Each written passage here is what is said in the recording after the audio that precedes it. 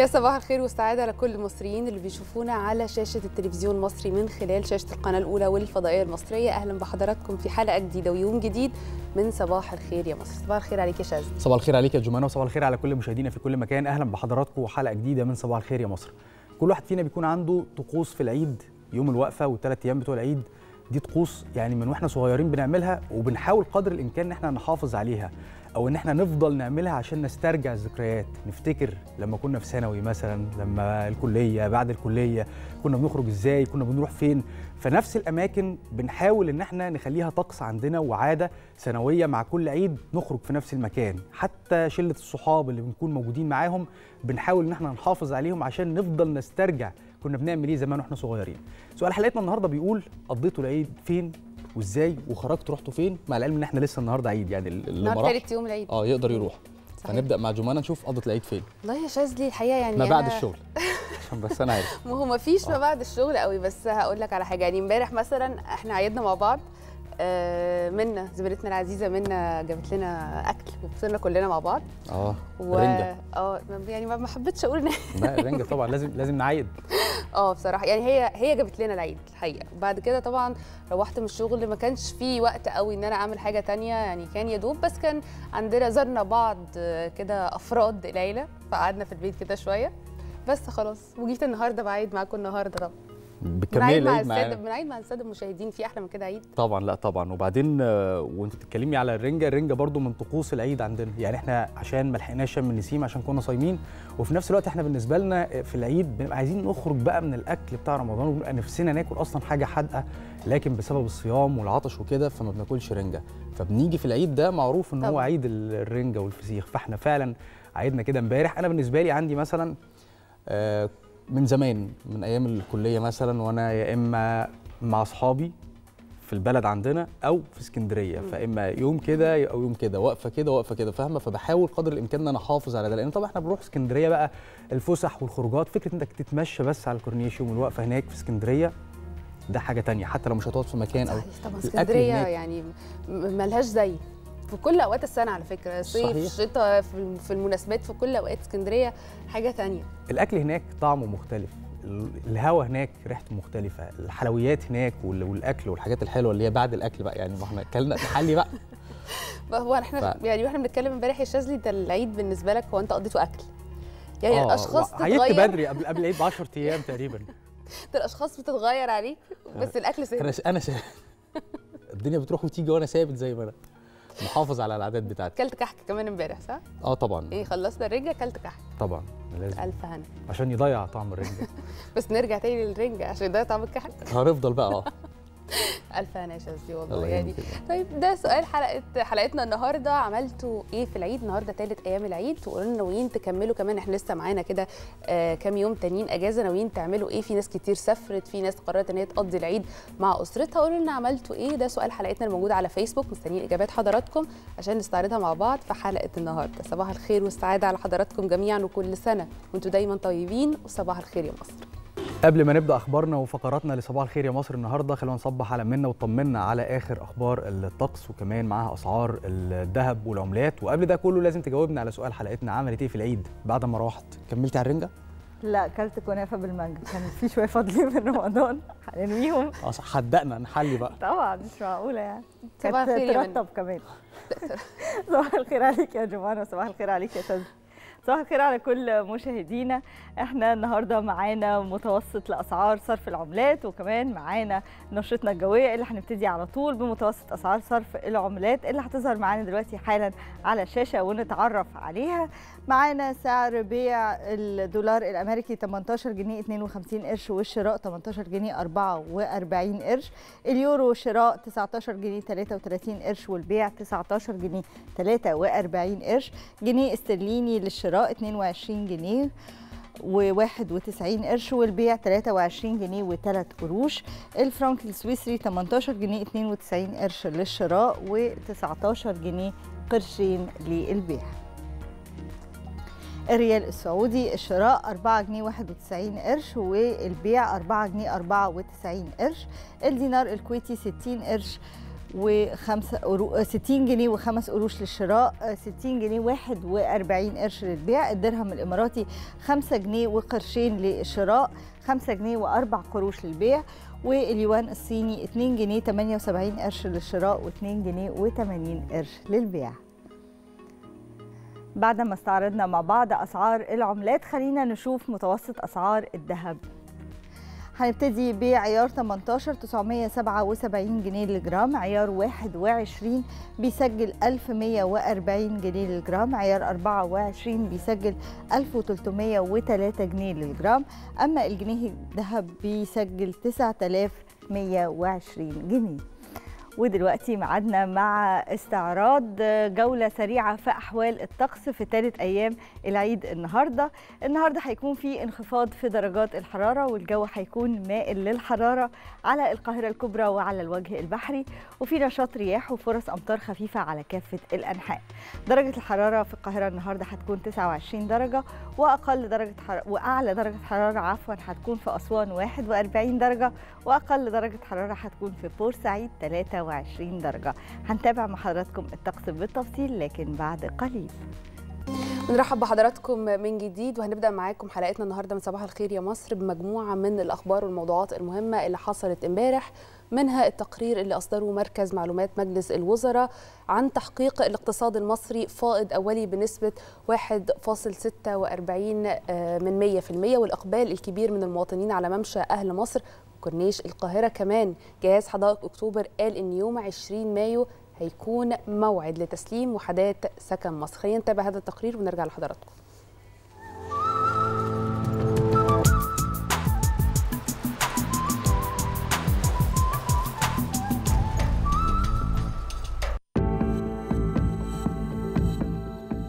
مجموعة من الأخبار المهمة اللي حصلت امبارح منها التقرير اللي نشره مركز معلومات مجلس الوزراء واللي بيوضح قدرة الاقتصاد المصري على مواجهة التحديات بمرونة لا مثيل لها. وقال إن الاقتصاد المصري نجح في تحقيق فائض أولي من الناتج المحلي الإجمالي خلال العام المالي 2020-2021 بنسبة 1.46% كمان امبارح في تاني أيام العيد شهد ممشى أهل مصر بكورنيش القاهرة إقبال كبير من المواطنين. الممشى بيمتد من كوبري إمبابة المعدني حتى كوبري 15 مايو والزوار بيتمتعوا بجمال الكورنيش بعد تطويره والجلوس لمشاهدة النيل وتناول الوجبات والمشروبات من مطاعم وكافيهات الممشى السفلي بالكورنيش. وإدارة الممشى خصصت الممشى السفلي للعائلات فقط خلال العيد لمنع المضايقات وإتاحة الممشى العلوي للجميع والدخول للممشى مجاناً كمان امبارح جهاز مدينة حدائق أكتوبر أعلن إنه يوم الثلاث الموافق 20 مايو الجاري هيكون آخر موعد لتسليم وحدات مشروع سكن مصر بمنطقة الداون تاون بالمدينة.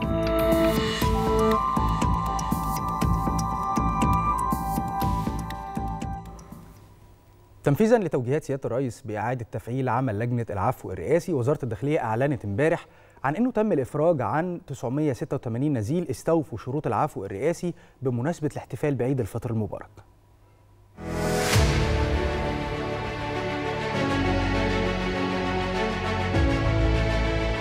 صار الإفراج بالعفو الرئاسي عن نزلاء مراكز الإصلاح والتأهيل أهم ما يميز الاحتفال بالأعياد والمناسبات والتوسع فيه واحدة من أسس السياسة العقابية الحديثة التي تطبقها وزارة الداخلية من هذا المنطلق أفرج قطاع الحماية المجتمعية عن 986 نزيلا تنفيذا للقرار الجمهوري رقم 155 لعام 2022 بشأن العفو عن باقي مدة العقوبة لبعض المحكوم عليهم من من استوفوا شروط العفو بمناسبة الاحتفال بعيد الفطر المبارك. شعور الحمد لله بالعفو فضل من ربنا سبحانه وتعالى ثم من سيد الرئيس عبد الفتاح السيسي كان شعور جميل جدا لا يوصف وطبعا يعني فرصة جميلة جدا. ان أنا اخرج تاني للمجتمع وابدا حياه جديده مع اسرتي ومع أهلي. مركز اصلاح وتاهيل الجديد في وادي النطرون بيعلمنا صنعة نطلع نستفادوا بيها بره. لو حد داخل معهوش صنعة ولا بيشتغل بيتعلم صنعة ويطلع يشتغل بيها ويبدأ حياته بيها. لجان عقدها قطاع الحماية المجتمعية لتحديد من تنطبق عليهم شروط العفو. من بين نزلاء مراكز الإصلاح والتأهيل انتهت أعمالها إلى الإفراج عن هذا العدد الذين يستقبلون حياة جديدة عقب الإفراج عنهم. مبسوط طبعا وفرحان وبشكر سيادة الرئيس اللي هو حط أسامينا في العفو. اتعلمت صنعة خياطة وأطلع أفتح ورشة بره وأشتغل وأتجوز وأبني حياة جديدة بره.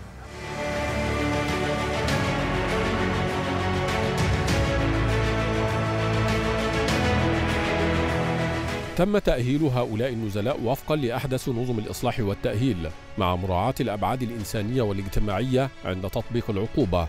في وقت يتم فيه توفير رعاية معيشية وثقافية وصحية ملائمة لهم وهو ما سوف يسهل لهم سرعة الاندماج في المجتمع بعد خروجهم من هنا.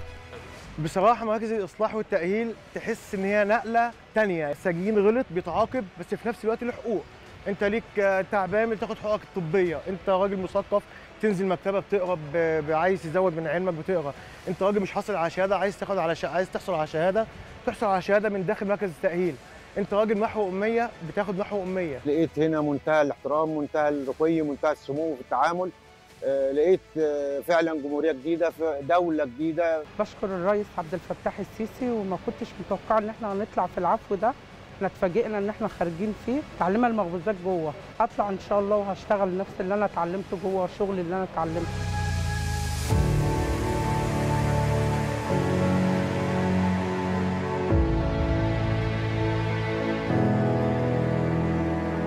لحظات من الفرحة عاشها المفرج عنهم بعد أن فتحت أبواب مراكز الإصلاح والتأهيل لخروجهم إلى المجتمع ليجدوا في استقبالهم أسرهم وذويهم. الذين أشادوا بقرارات العفو الرئاسي التي تعد فرصة جديدة للمفرج عنهم لبداية حياة جديدة.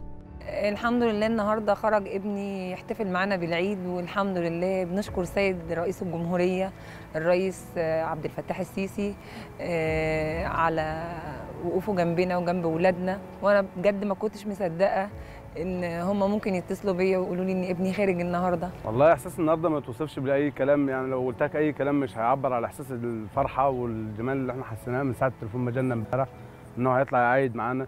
بصراحة إحساس ما ينفع يعني الكلام قليل على وصفه. مهما قلت الكلام مش هيوفي شكري وتقديري وعرفان للسيد الرئيس جمهورية مصر العربية السيد الرئيس عبد الفتاح السيسي بعطفه وحنانه. يأتي الإفراج عن هؤلاء النزلاء في إطار تفعيل وزارة الداخلية لأساليب الإفراج عن المحكوم عليهم الذين تم تأهيلهم للانخراط في المجتمع. التوسع بالإفراج بالعفو الرئاسي على نزلاء مراكز الإصلاح والتأهيل هي أحد الأبعاد الإنسانية في منظومة السياسة العقابية الحديثة والتي تهدف في المقام الأول إلى إتاحة الفرصة للمفرج عنهم لبداية حياة جديدة مسلحين بما تعلموه داخل مراكز الإصلاح والتأهيل. من مركز الإصلاح والتأهيل وادي النطرون عبد الله بركات التلفزيون المصري. بعد ما تابعنا مع حضراتكم مجموعة من أهم الأخبار والأحداث اللي حصلت امبارح خلينا نروح ونتابع أخبار المحافظات كمان اللي حصلت امبارح. في الأقصر تم إطلاق 37 رحلة بالون والرحلات دي طبعا بتعتبر من أهم البرامج السياحية اللي بيكون عليها إقبال كبير جدا من السائحين.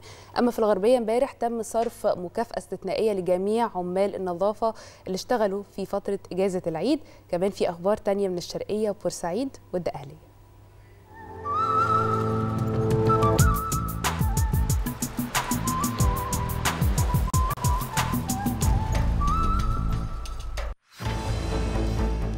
أخبار كتيرة حصلت امبارح في المحافظات.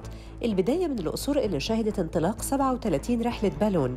الرحلات دي من أهم البرامج السياحية اللي بيقبل عليها السائحين الوافدين لزيارة المعالم والمقاصد الأثرية والسياحية في عاصمة السياحة العالمية. وقد تم اتخاذ جميع إجراءات السلامة والتنسيق الكامل مع الجهات الأمنية بالمحافظة. في الغربية كلف الدكتور طارق رحمي محافظ الغربية بصرف مكافأة استثنائية لجميع عمال النظافة العاملين خلال فترة العيد. وجه رؤساء الأحياء والمدن باستمرار تكثيف أعمال النظافة على مدار اليوم. في الشرقية أعلنت مديرية الطب البيطري عن تنفيذ 526 ندوة إرشادية للحفاظ على البيئة وصحة المواطنين والثروة الحيوانية. في بورسعيد أعلن اللواء عادل الغضبان محافظ بورسعيد أن غرفة العمليات الرئيسية في ديوان عام المحافظة وغرف العمليات الفرعية في الأحياء ومديريات الخدمات لم تتلقى أي اختارات أو شكاوى خلال أول أيام عيد الفطر المبارك. وقال إن غرفة العمليات الرئيسية بتعمل على مدار 24 ساعة لتلقي بلاغات وشكاوى المواطنين خلال عطلة عيد الفطر. في الدقهلية قال الدكتور شريف مكين وكيل وزارة الصحة إن جميع وحدات الغسيل الكلوي بصحة الدقهلية وعددها 33 وحدة غسيل كلوي تعمل بكامل طاقتها خلال أجازة عيد الفطر المبارك. وقال إن الوحدات بتخدم 3000 مريض غسيل كلوي بشكل منتظم ثلاث مرات أسبوعياً. وخلال أيام العيد هيتم إجراء 9000 جلسة غسيل كلوي للمرضى.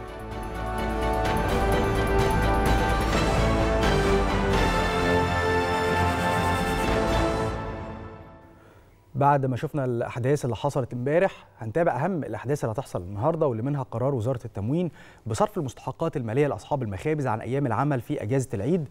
كمان لجان استلام القمح بالشون والمصانع هتستأنف عملها في البحيرة. النهارده كمان في ماتش مهم جدا لمانشستر سيتي وريال مدريد في إياب نصف نهائي دوري أبطال أوروبا.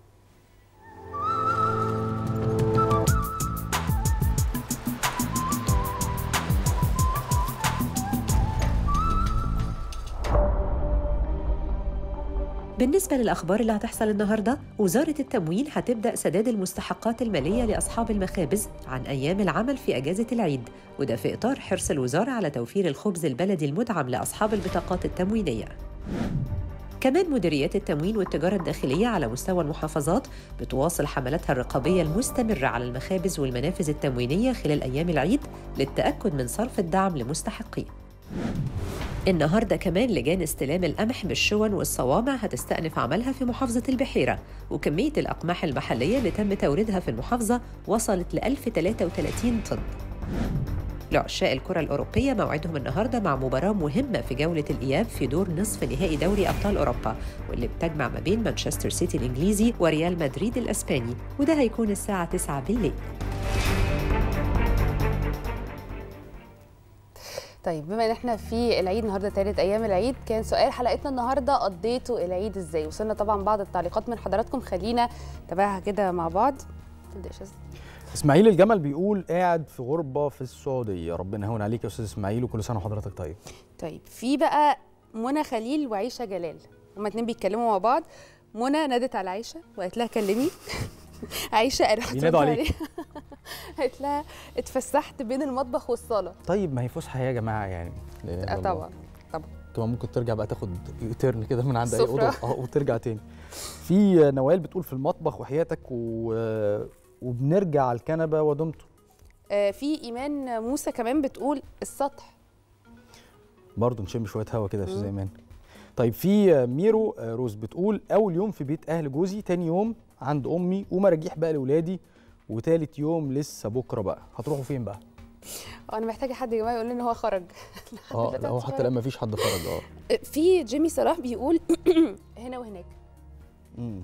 أنت بقى يعني. بس هو واضح إن الناس يعني آه، محتاجة ترتاح. لو تلاقي كده غالبية بس برضه التعليقات العيد لا محتاج إن أنت خروج وكده، يعني آه. محتاج تغير جو يعني. آه، بس واضح إن فعلا في ناس كتير قوي قعدت في البيت. في كمان زيزو المصري قال الخروج بعد 2 صباحا عشان الزحمة ومفيش زحمة قوي في العيد متهيألي يا زيزو. آه، في نادية بتقول في البيت طبعا. في آه، مامة علي بتقول بتفسح في البيت. حلو والله. ماشي دي كانت مجموعة من التعليقات. آه، فطبعا آه. إحنا في انتظار تعليقات حضراتكم على سؤال حلقتنا النهارده. رحتوا فين في العيد؟ هنستعرضها طبعا خلال آه، حلقتنا لكن دلوقتي هنروح لفاصل سريع ونرجع من بعده نكمل باقي فقرات.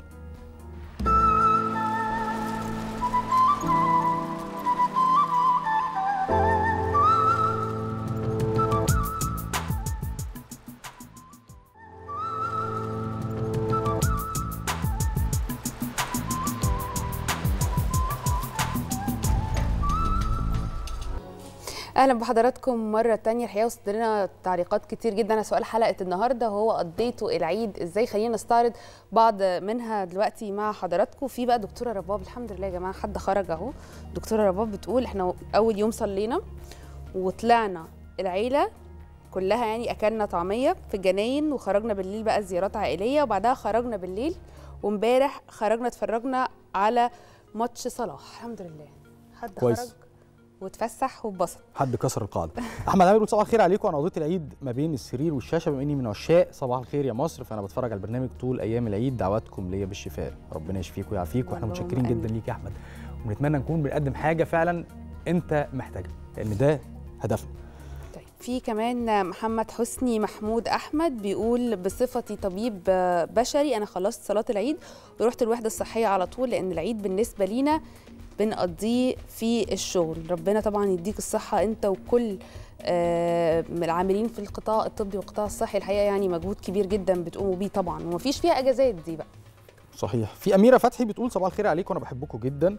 ويا ريت تقروا التعليق بتاعي على الهوا. أنا بقى قضيته في البيت لأني كنت تعبانة جدا لي ألف سلام عليك يا أستاذة أميرة. كل سنة وحضرتك طيب طيب بما إن إحنا بنتكلم بقى على عن العيد وخروجات العيد خلينا ناخد حضراتكم كده للمتحف القومي للحضارة اللي بقى الحقيقة يعني دلوقتي بيعتبر وجهة جديدة للفسحة والاستمتاع آه، بالأعياد وفي كل المناسبات الحقيقة. عشان كده كان في إقبال كبير جدا من الجمهور على زيارة المتحف في أيام العيد والتعرف كمان على المقتنيات المهمة جدا اللي موجودة داخل المتحف.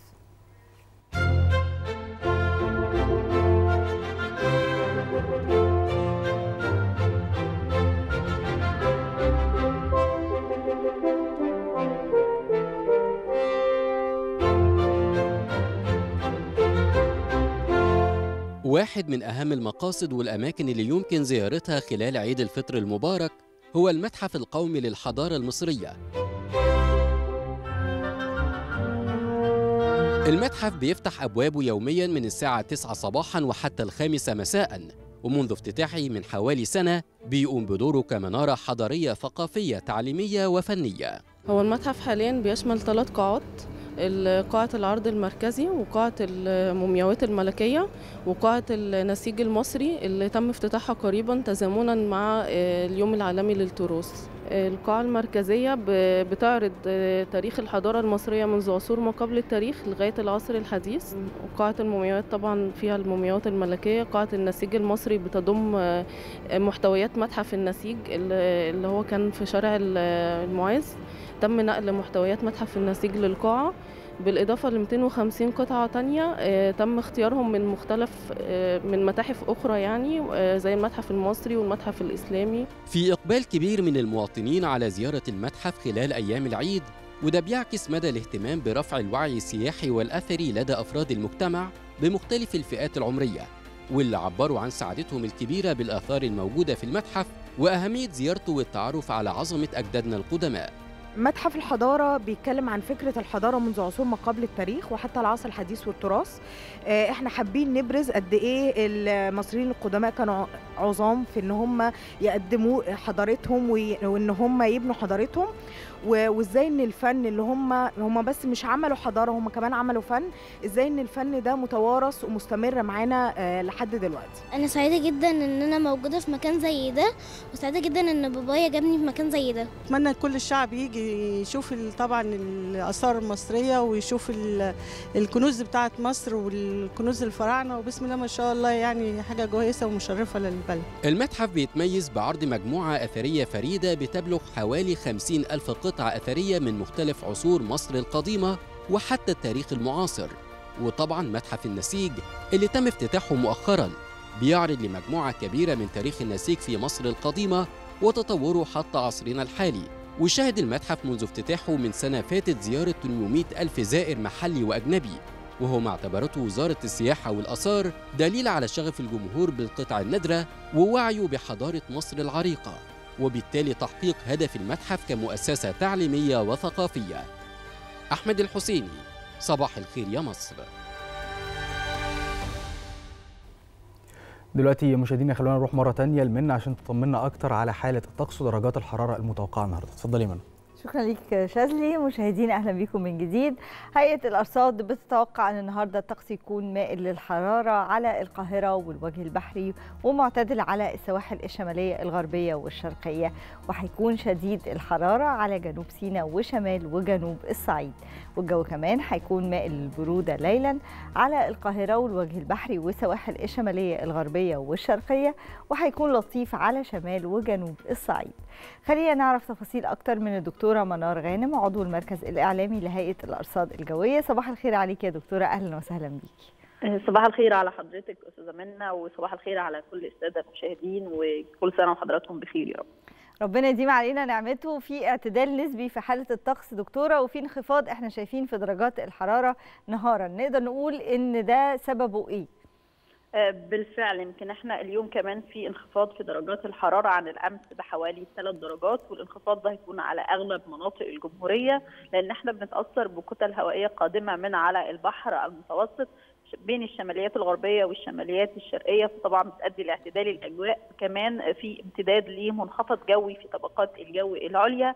ده اللي بيعمل على تكاثر السحب المنخفضة والمتوسطة على مدار اليوم فده بيؤدي أيضا لاعتدال الأجواء وبنحس بأجواء رباعية مائلة للحرارة خلال فترة النهار على أغلب مناطق الموجودة في محافظة القاهرة الكبرى محافظات الوجه البحري أيضا محافظات جنوب سيناء وبعض المناطق كمان من شمال الصعيد. معتدل الحرارة على سواحلنا الشمالية. هيظل شديد الحرارة على محافظات جنوب الصعيد ده طبعا خلال فترات النهار. كمان خلال فترات الليل درجات الحرارة هتنخفض والطقس هنشعر بيه إن هو طقس مائل للبرودة على أغلب المناطق الشمالية الموجودة في سواحلنا الشمالية حتى القاهرة الكبرى طب خليني أقطعك دكتورة منار عذرا وأعرف قصة السواحل الشمالية يمكن امبارح كان الجو بارد أو يعني كل الناس اللي مسافرة في السواحل الشمالية كانت بتقول إن امبارح كان في حاسين حتى على مدار النهار كان في جو بارد ويمكن أول امبارح كان في تساقط لأمطار حتى وإن كانت خفيفة بس كان في أمطار. هل من المتوقع إن الجو ده يستمر على السواحل الشمالية لمصر؟ بالفعل يمكن تحديدا السواحل الشمالية الغربية اول امس شهدت سقوط أمطار وكمان في انخفاض في درجات الحرارة أمس خلال فترة النهار وخلال فترات الليل. بالفعل والأجواء رباعية معتدلة خلال فترات النهار باردة إلى مائله للبروده خلال فترات الليل. بالفعل وده هيستمر معانا كمان لنهاية هذا الأسبوع. ويمكن كمان اليوم عندنا فرص طبعا بنقول تكاثر للسحب المنخفضه والمتوسطه معاها فرص لسقوط الامطار اللي هي امطار خفيفة جدا غير مؤثرة تماما على أعمال الأنشطة اليومية على أغلب المناطق اللي موجودة في السواحل الشمالية شمال الوجه البحري آه كمان بعض المناطق من سيناء قد تمتد الامطار الخفيفة دي لبعض المناطق من القاهرة الكبرى وشمال الصعيد. كلها فرص سقوط امطار خفيفة بتدل على اعتدال الأجواء والأجواء الربيعيه ومفيش منها قلق بإذن الله. إن شاء الله. كل الشكر ليكي دكتورة منار غانم عضو المركز الإعلامي لهيئة الأرصاد الجوية. خلينا دلوقتي مشاهدينا نستعرض معاكم درجات الحرارة المتوقعة النهاردة في بعض المدن ومحافظات مصر ونبتدي من القاهرة اللي العظمى فيها 29 والصغرى 17 الإسكندرية 24 16 مطروح 24 17 سيوة 28 15 بورسعيد 23 17 ودمياط 23 17 الإسماعيلية 29 17 والسويس 30 17 العريش العظمى فيها 24 والصغرى 16 طابة 27 16 كاترين 26 11 شرم الشيخ 23 24 الغردقة 35 23 والفيوم 29 17 بني سويف 29 17 والمنيا 30 18 أسيوط العظمى فيها 31 والصغرى 19 سوهاج 32 الصغرى 20 قنا 37 21 الأقصر 40 23 أسوان 41 24 الوادي الجديد العظمى فيها 40 والصغرى 21 شلاتين 35 24 أما حلايب العظمى فيها 34 والصغرى 26 إحنا كده قلنا بيان مبدئي بدرجات الحرارة وشفنا مع بعض إن النهارده الجو كمان هيكون لطيف جدا فرصة طيبة وإحنا موجودين في الأجازة إن إحنا نستمتع بالجو الحلو ده اللي عايز يخرج يلحق لسه العيد مكمل معانا ولسه الأجازة كمان موجودة معانا. نرجع دلوقتي لشاذلي وجمانة نكمل حلقتنا. اتفضل. شكرا ليك يا منى. الحقيقة إنه في فنانين يمكن الحظ ما ساعدهمش إنهم ياخدوا أدوار بطولة. مع ذلك كل مشهد بيقدموه على الشاشة بيفرق كتير جدا في العمل وبيكون إضافة قوية وبيفضل دايما في ذاكرة الجمهور لسنين طويلة جدا. على سبيل المثال من الفنانين دول راحلة زينات صدقي ملكة الكوميديا صاحبه الإفيهات اللي مش ممكن ننساها ابدا. دايما كنا بنشوف أفلامها وكان ليها طلة مميزة أفلام كتير جدا. على سبيل المثال ابن حميد وشارع الحب العتبة الخضراء وغيرها كتير قوي من آه الأفلام. خلينا نتابع هذا التقرير ونرجع لحضراتكم على طول.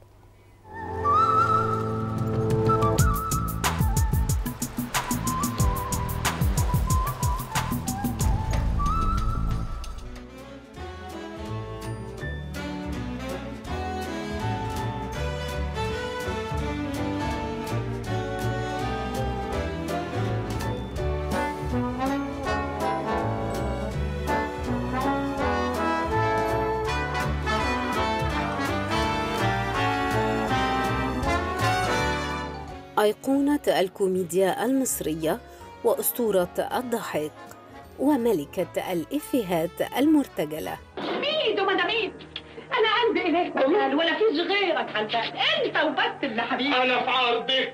ابوس إيدك بتبصي ليه كده ليه والمكر جوه عليك كل العيون حواليك. تاخدها ساحر عليك آه. والنبي. حبيبي يسمك آه. آه. بحبه يسمك والنبي. أحمد. آه. أحمد. آه. آه. أحمد. آه. والنبي. والنبي.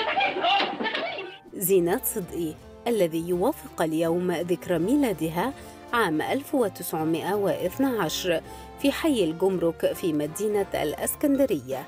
درست في معهد أنصار التمثيل والخيالة.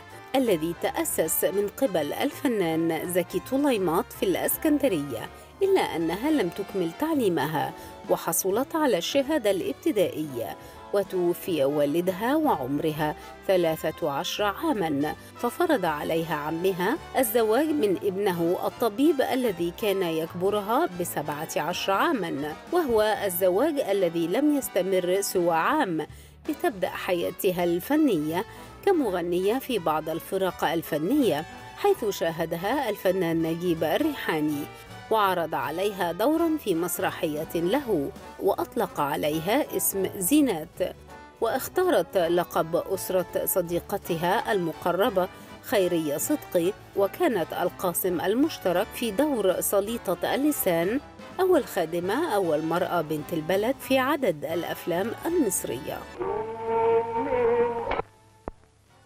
يا خراب يا دهوتي أنا يا بنت السوداء لا أنا عارفة مين هو ولا أنا شايفة فين هو. يا ترى أين أنت يا هو؟ فين أراضيك يا هو؟ يا ساكن قلبي من جوه ولا مش لاقياك يا هو؟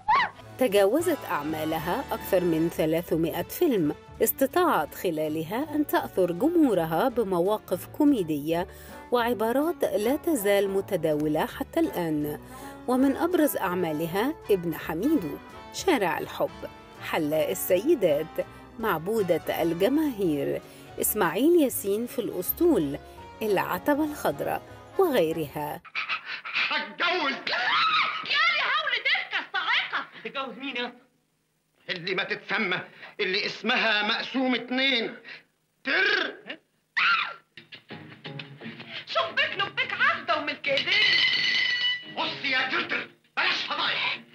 حاضر يا سبع يا جمل يا مي هصبر يا سادة عشر. يا صباح الفل والورد والنرجس والياسمين. نوم العوافي عريس متعافي. قطة في المزيكا وخلافه. رحلت ملكة الكوميديا في 2 مارس من عام 1978 بعد حياة حافلة بالفن والعطاء والضحك والأحزان. ألو؟ أيوه إعلان جواز يا حبيبتي. عذراء حسناء هيفاء والهاء دعجاء سمراء فيحاء. في العشرين من ربيعها الوردي الزاهر المزدهر. تملك سيارة وفيلا ودار أزياء. ملفوفة القوام كغصن البان الأخضر الريان. تطلب زوجة. إيه؟ جمعيا؟ لا لا لا يا حبيبتي مش ضروري جمعيا. ثقافيا إعداديا إلزاميا أهو راجل والسلام. الإمضاء مراهقة.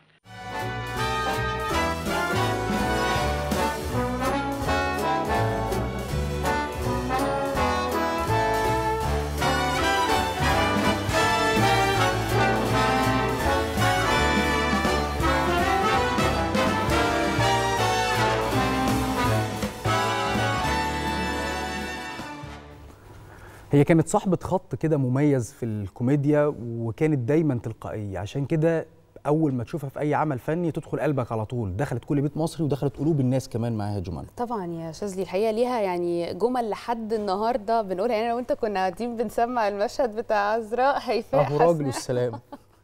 لا ويا أختي جماله حلو ويا أختي ده ال- لا موضوع أهو راجل والسلام ده اللي يجي في طريقك يعني. بعتي أي حد جماعيا لا مش مهم جماعيا أهو راجل والسلام.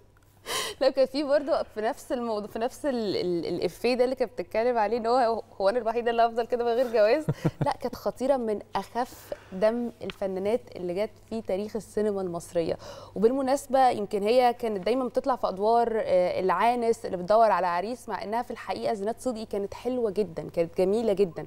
لكن هي نجحت في الدور ده. صحيح وتقريبا كان ليها اتجوزت ثلاث مرات يعني صحيح. كان بس كان ل- ل- لأداء الدور. صحيح. آه، على كل هنروح لتقرير تاني. بيتكلم عن آه، صلاة العيد. طبعا صلاة العيد السنة دي كان لها طعم مختلف خصوصا إنها جت بعد غياب سنتين 2020 و2021 ده بسبب القيود اللي كانت مفروضة للحد من تفشي آه، فيروس كورونا. المسلمين في مختلف بلاد العربية والإسلامية آه، تدفقوا على المساجد في بلادهم في أجواء سادتها بقى البهجة وكمان تخللتها تهاني العيد.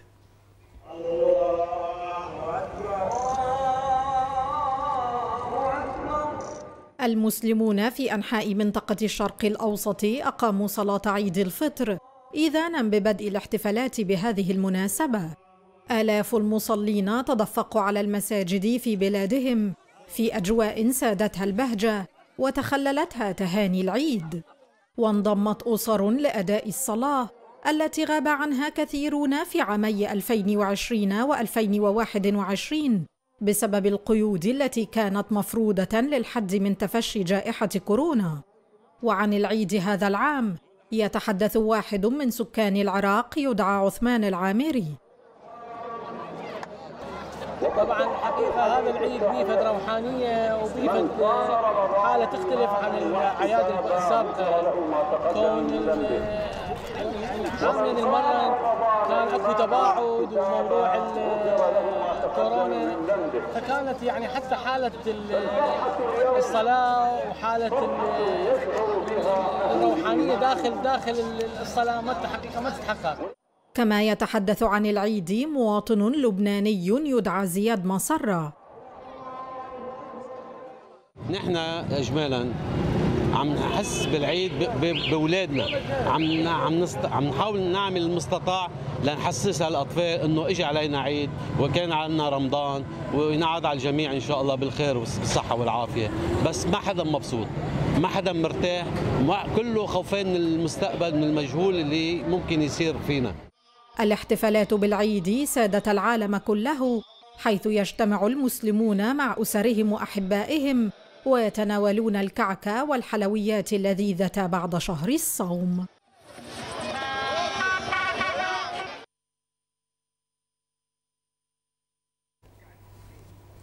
طيب خلينا نروح دلوقتي مع حضراتكم لخبر آخر. يعني خبر مختلف شوية. في دار مزادات فرنسية قالت إنه قالت كمان ممكن يوصل سعرها ل 10 مليون يورو يعني حوالي 10 مليون و600 ألف دولار. ده عن طرحها للبيع في المزاد الشهر اللي جاي. ده رقم كبير جدا طبعا. بس الآلة بقى ليه سعرها ده؟ الآلة بيرجع عمرها إلى تقريبا يعني ما يقرب من ثلاث قرون وبتعود بالتحديد لعام 1736 آلة الكمان تلك قد تجلب ما يصل إلى عشرة ملايين يورو أي ما يعادل عشرة ملايين وستمائة ألف دولار. عند طرحها للبيع في مزاد في فرنسا الشهر المقبل. السر وراء ذلك يعود إلى أنها من إبداع صانع الآلات الوترية الإيطالي الشهير جوزيبي جوارديري كما أن عمرها يقترب من ثلاثة قرون إذ تعود بالتحديد لعام 1736 والآلة مملوكة الآن لعازف الكمان الفرنسي ذائع الصيت ريجيس باسكيه والذي استخدمها في العديد من الحفلات في مختلف أنحاء العالم. تقول صوفي بيرين من دار أجوت للمزادات إن هناك العديد من آلات الكمان لكن طرح هذا الكمان للبيع في مزاد أشبه ببيع لوحة لرامبراند أو حتى لليوناردو دافنشي. والآلة هي واحدة من حوالي 150 آلة فقط صنعها غوارنيري والذي اتسمت أعماله بالجودة العالية والعمر الطويل. وقالت بيرين إن غوارنيري صنعها في أوج مسيرته واشتراها باسكي قبل ما يزيد على عشرين عاما واستخدمها لتقديم حفل موسيقي في اليوم التالي مباشرة دون التدرب عليها مضيفة أن بالنسبة له كانت الآلة في حالة مثالية. وسيتم طرح الكمان في المزاد في الثالث من يونيو حزيران ويقدر سعرها الأساسي ما بين أربعة ملايين إلى أربعة ملايين ونصف المليون يورو لكن بيرين تقول إن السعر قد يصل إلى عشرة ملايين. مشاهدينا ده ميعاد موجز الأخبار مع منى اتفضل يا منى شكرا لك شاذلي الثامنة صباحا بتوقيت القاهرة السادسة بتوقيت جرينتش موجز الأخبار من التلفزيون المصري أهلا بكم.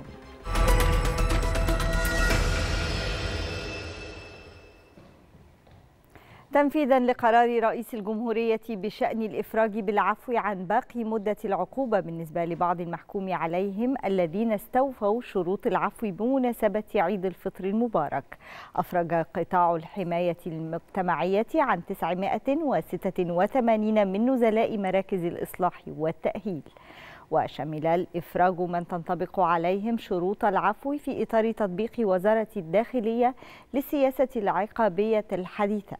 يأتي ذلك في إطار حرص وزارة الداخلية على تطبيق السياسة العقابية بمفهومها الحديث وتوفير أوجه الرعاية المختلفة للنزلاء وتفعيل الدور التنفيذي لأساليب الإفراج عن المحكوم عليهم الذين تم تأهيلهم للانخراط في المجتمع.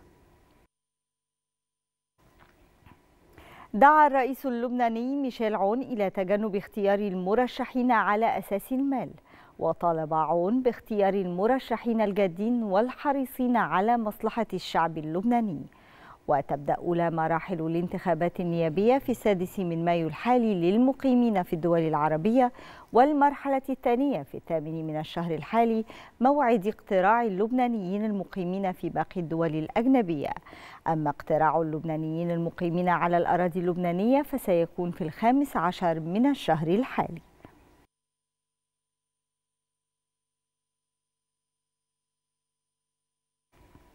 شنت روسيا هجوما عنيفا مدعما بالدبابات والمشاة على مصنع أزوفستال وهو آخر جيب للمقاومة الأوكرانية في مدينة ماريوبول الجنوبية. ومن جهة أخرى أعلنت الأمم المتحدة أنه تم بنجاح, بنجاح إجلاء 101 مدني عالقين منذ أسابيع في مجمع أزوفستال.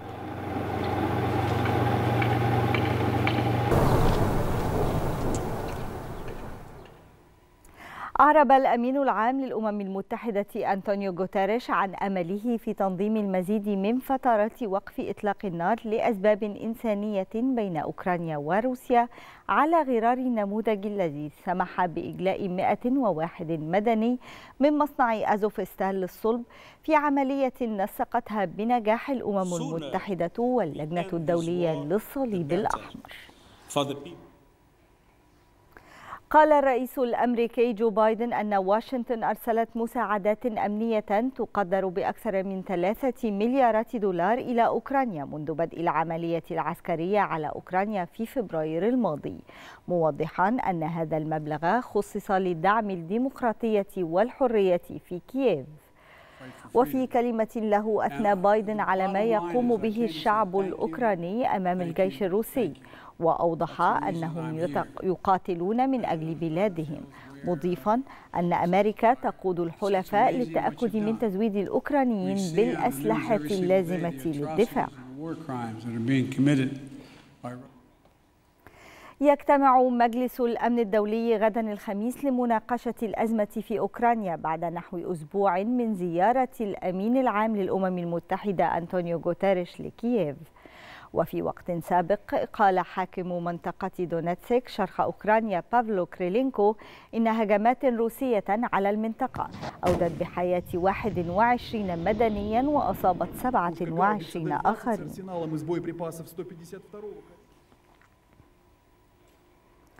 قال جيش كوريا الجنوبية إن كوريا الشمالية أطلقت مقذوفا غير محدد نحو البحر قبالة الساحل الشرقي. وأعلنت هيئة الأركان المشتركة في الجيش الكوري الجنوبي أن بيونغ يانغ أطلقت ما وصفته بقذيفة غير محددة باتجاه البحر الشرقي مشيرة إلى أن هذا الإطلاق هو الرابع عشر للنظام الكوري الشمالي هذا العام وفقا لما ذكرته وكالة أنباء كوريا الجنوبية يونها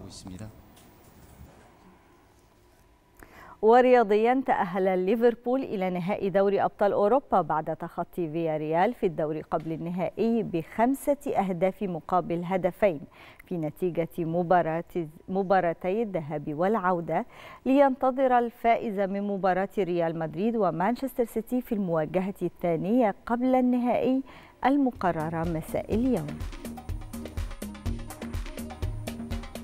ختام موجز الثامنة وعودة لاستكمال باقي فقرات صباح الخير يا مصر بعد الفاصل.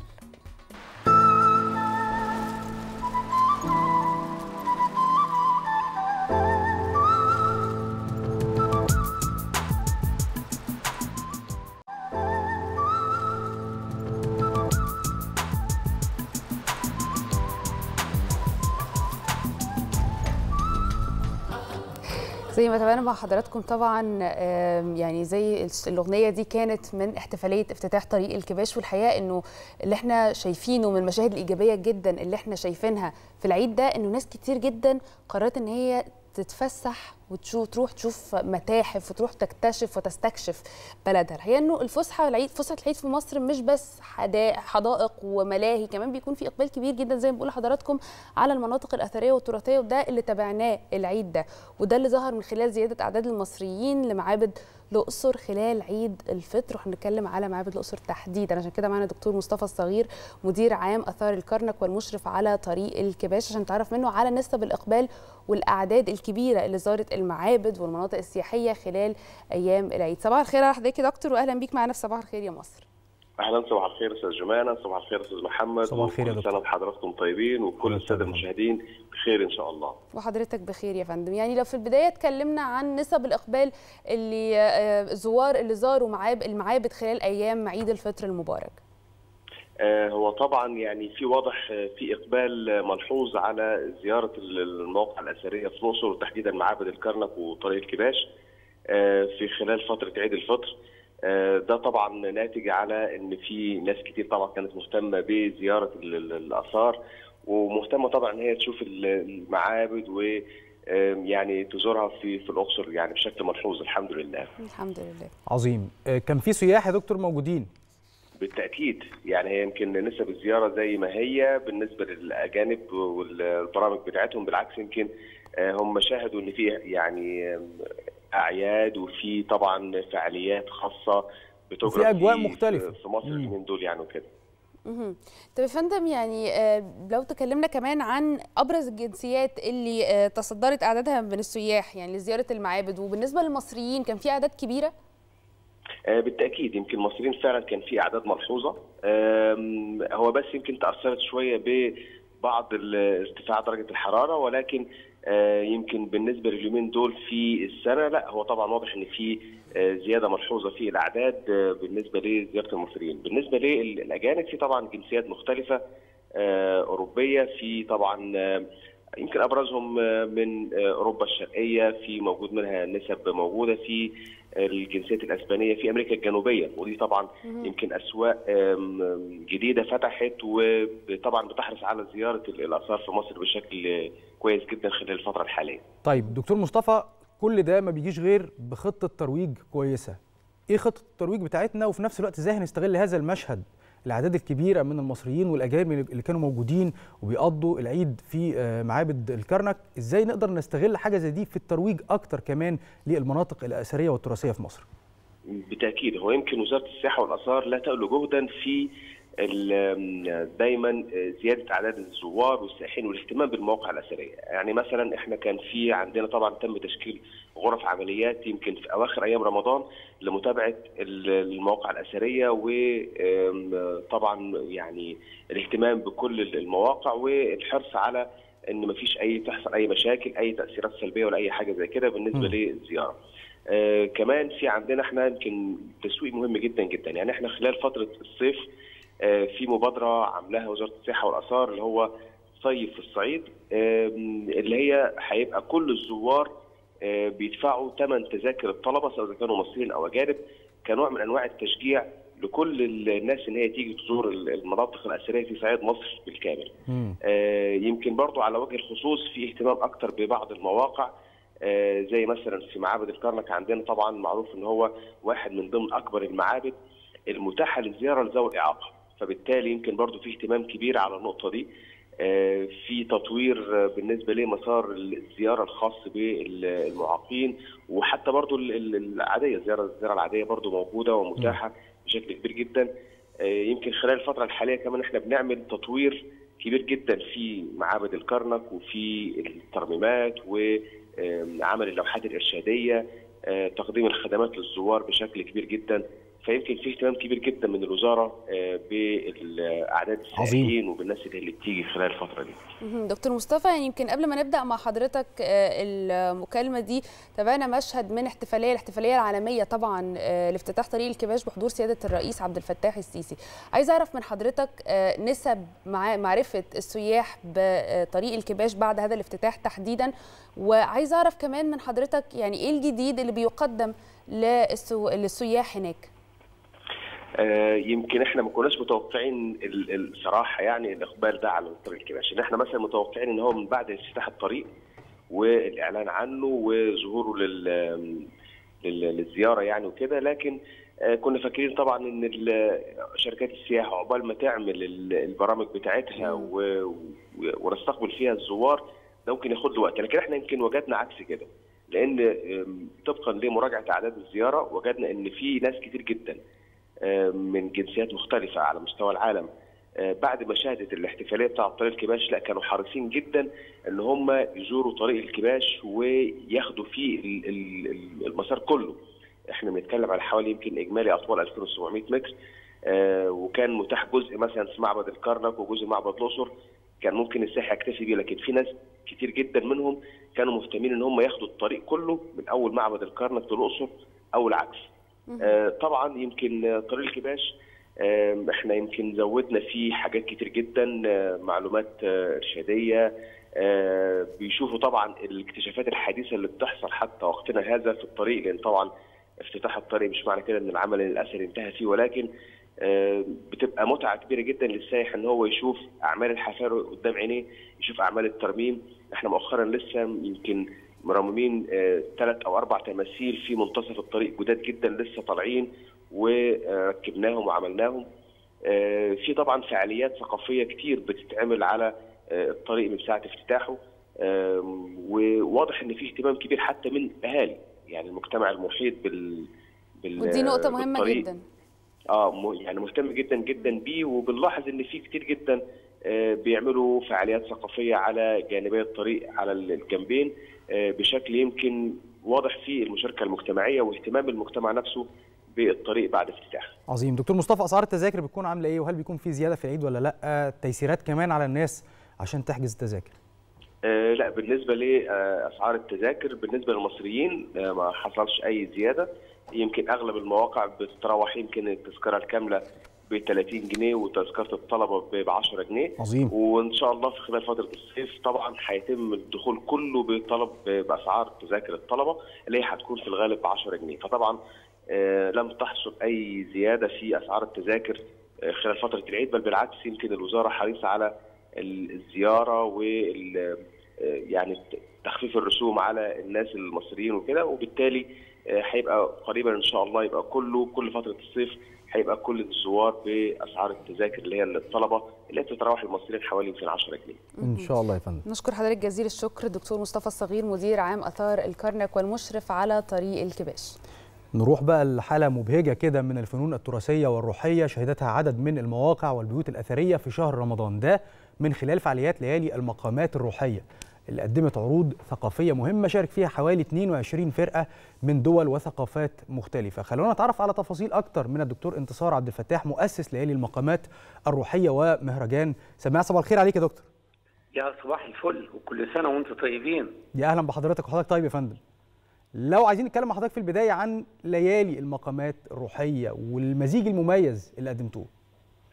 آه، الحقيقة ال- دي الدورة السابعة وأنا سعيد جدا إن إحنا قدمنا في ثلاث أماكن بالتتابع وبدأنا أربعة رمضان ونزلنا في الشوارع والحواري المصرية. أنا س- يعني أنا بحب جدا إن أنا أنزل للشوارع وأنزل الحواري المصرية لأن الجمهور الحقيقي والذواق للفن والثقافة بنلاقيه هناك. فبدأنا في آه، حي الضرب الأحمر وبالتحديد في بيت يكن الأثري آه، وقدمنا حوالي خمس ليالي. أنا عاوز أقول لسيادتك آه، لاقت نجاح غير مسبوق. الأهالي نفس- نفسهم كانوا بيشاركوا في تنظيم الحفلة واستقبال الناس وكان الحقيقة منظر مبهج جدا الناس كانت جداً. متعطشة لمثل هذا النوع من الفعاليات. ده صحيح وأكدت لي إن فعلا تفرد الشخصية المصرية ينبع من هذه الأماكن. طيب يعني دكتور انتصار بعد التحية زي ما حضرتك تحدثت انه نزول للشارع بالفعل الجمهور الحقيقي في الشارع زي ما حضرتك قلت لكن ده بيتطلب كمان استعدادات كتيرة جدا. لو تكلمنا عن آه، الاستعدادات اللي سبقت إقامة آه، ليالي المقامات ومهرجان سماع للانشاد هو الحقيقة إحنا طول السنة مع مجموعة العمل آه، وعلى رأسها الدكتورة الأستاذة سيام إسماعيل يعني والاستاذ مجدي خلف الله اللي هو الشؤون الإدارية بنشتغل. وبالتالي كان في عدة اجتماعات ونزلنا آه، للأماكن ورصد الأماكن الأثرية آه، على أساس إن إحنا قلنا هنبدأ نكتشف أماكن وفضاءات جديدة لهذه الليالي. بالفعل زي ما قلت لسيادتك آه، آه، لقينا في الضرب الأحمر ثم انتقلنا إلى الحسين وقدمنا ثلاث ليالي في قبة الغوري وقبة الغوري هو بيتي الأساسي واللي أنا أسست فيه كل الفلسفة الخاصة بهذا المكان من 2007 حتى وقتنا هذا. ثم انتقلنا إلى السيدة زينب وبالذات آه، في بيت السناري حارة مونج التابعة لمكتبة اسكندرية وقدمنا حوالي تسع ليالي آه، يعني عاوز لسيادتك فعلا كانت ليالي مبهجة وليالي أنا سعيد وفخور بيها جدا. أنا شخصيا آه، كنت بستمتع. كل لحظة كنا بنستمتع بيها كل ثانية. والحقيقة أنا بشكر جدا ال- الناس اللي هم آه، تعاونوا معايا المسؤولين سواء في بيت يكن أو في بيت آه، السناري أو قبة الغوري التابع لصندوق التنمية الثقافية. عظيم. آه، دكتور انتصار عايزين نوضح الفرق ما بين ليالي المقامات ومهرجان سماع للإنشاد أيوه. ليالي المقامات طبعا إحنا أول ما أسستها آه، حسيت إن إحنا آه، في شهر رمضان المعظم وفي روحانيات خاصة بهذا الشهر بيفرض علينا يعني رؤية جديدة. من هنا يعني أفكر إيه اللي ممكن أقدمه ويوازي يعني هذه المكانة الروحية. ففكرت في ليالي المقامات الروحية بأن إحنا بنقدم فعلا فرق آه، بتسمو بينا في هذه الليالي ونرتقي معا وننشد معا. أما بالنسبة لمهرجان سماع الدولي للإنشاد والموسيقى الراحيه فهو مهرجان دولي يضم آه، يعني فرق كثيرة جدا ومشاركة من دول العالم وبيؤكد على آه، جوهر الأديان بغض النظر عن عن العرق أو الدين أو اللون وبالتالي آه، مهرجان سماع الحمد لله خد مكانة دولية وفي فرق كتيرة بتشارك آه، في إنها تيجي تقدم وإنها تشارك في هذا المهرجان اللي أنا بعتز بيه وله مكانة كبيرة جدا عند الجماهير. دكتور انتصار عبد الفتاح مؤسس ليالي المقامات الروحية ومهرجان سماع سماع عفوا بنشكر حضرتك جزيل الشكر يا فندم نورتنا في صباح الخير يا مصر كل سنة وحضرتك طيب. دلوقتي هناخدكم في جولة في الملاعب الرياضية مع منى. اتفضلي منى. شكرا ليك شاذلي. أهلا بكل مشاهدينا معانا دلوقتي مع موجز لأهم الأخبار الرياضية المحلية والعالمية. اليوم انطلقت ركلة البداية. Bye.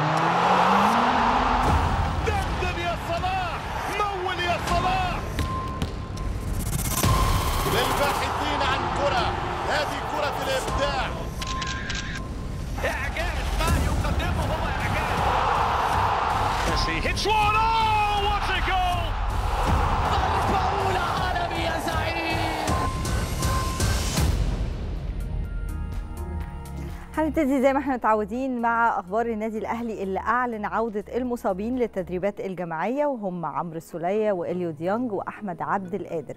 ونشر الحساب الرسمي للنادي الأهلي على تويتر صور لنجوم الفريق اللي رجعوا من الإصابة وانضموا للتدريبات الجماعية. والحمد لله على السلامة.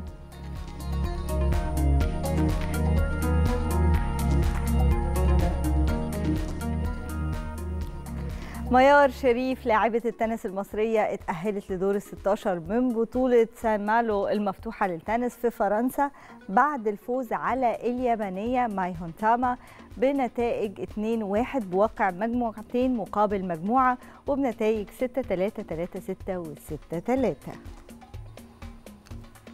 وفريق بورن بورنموث حسم تأهله لمنافسات الدوري الإنجليزي الممتاز في الموسم الكروي الجاي 2022 2023 بعد فوزه على نوتنغهام فورست بنتيجة 1-0 في المواجهة اللي اتلعبت بينهم امبارح على ملعب فيتاليتي ضمن منافسات الجولة 33 من مسابقة دوري الدرجة الأولى. ونادي ليفربول اتأهل إلى نهائي دوري أبطال أوروبا بعد ما فاز على نظيره فيا ريال بنتيجة 3-2 في المباراة اللي اتلعبت امبارح على ملعب لا سيراميكا ضمن منافسات إياب نصف نهائي دوري أبطال أوروبا الموسم الجاري 2021-2022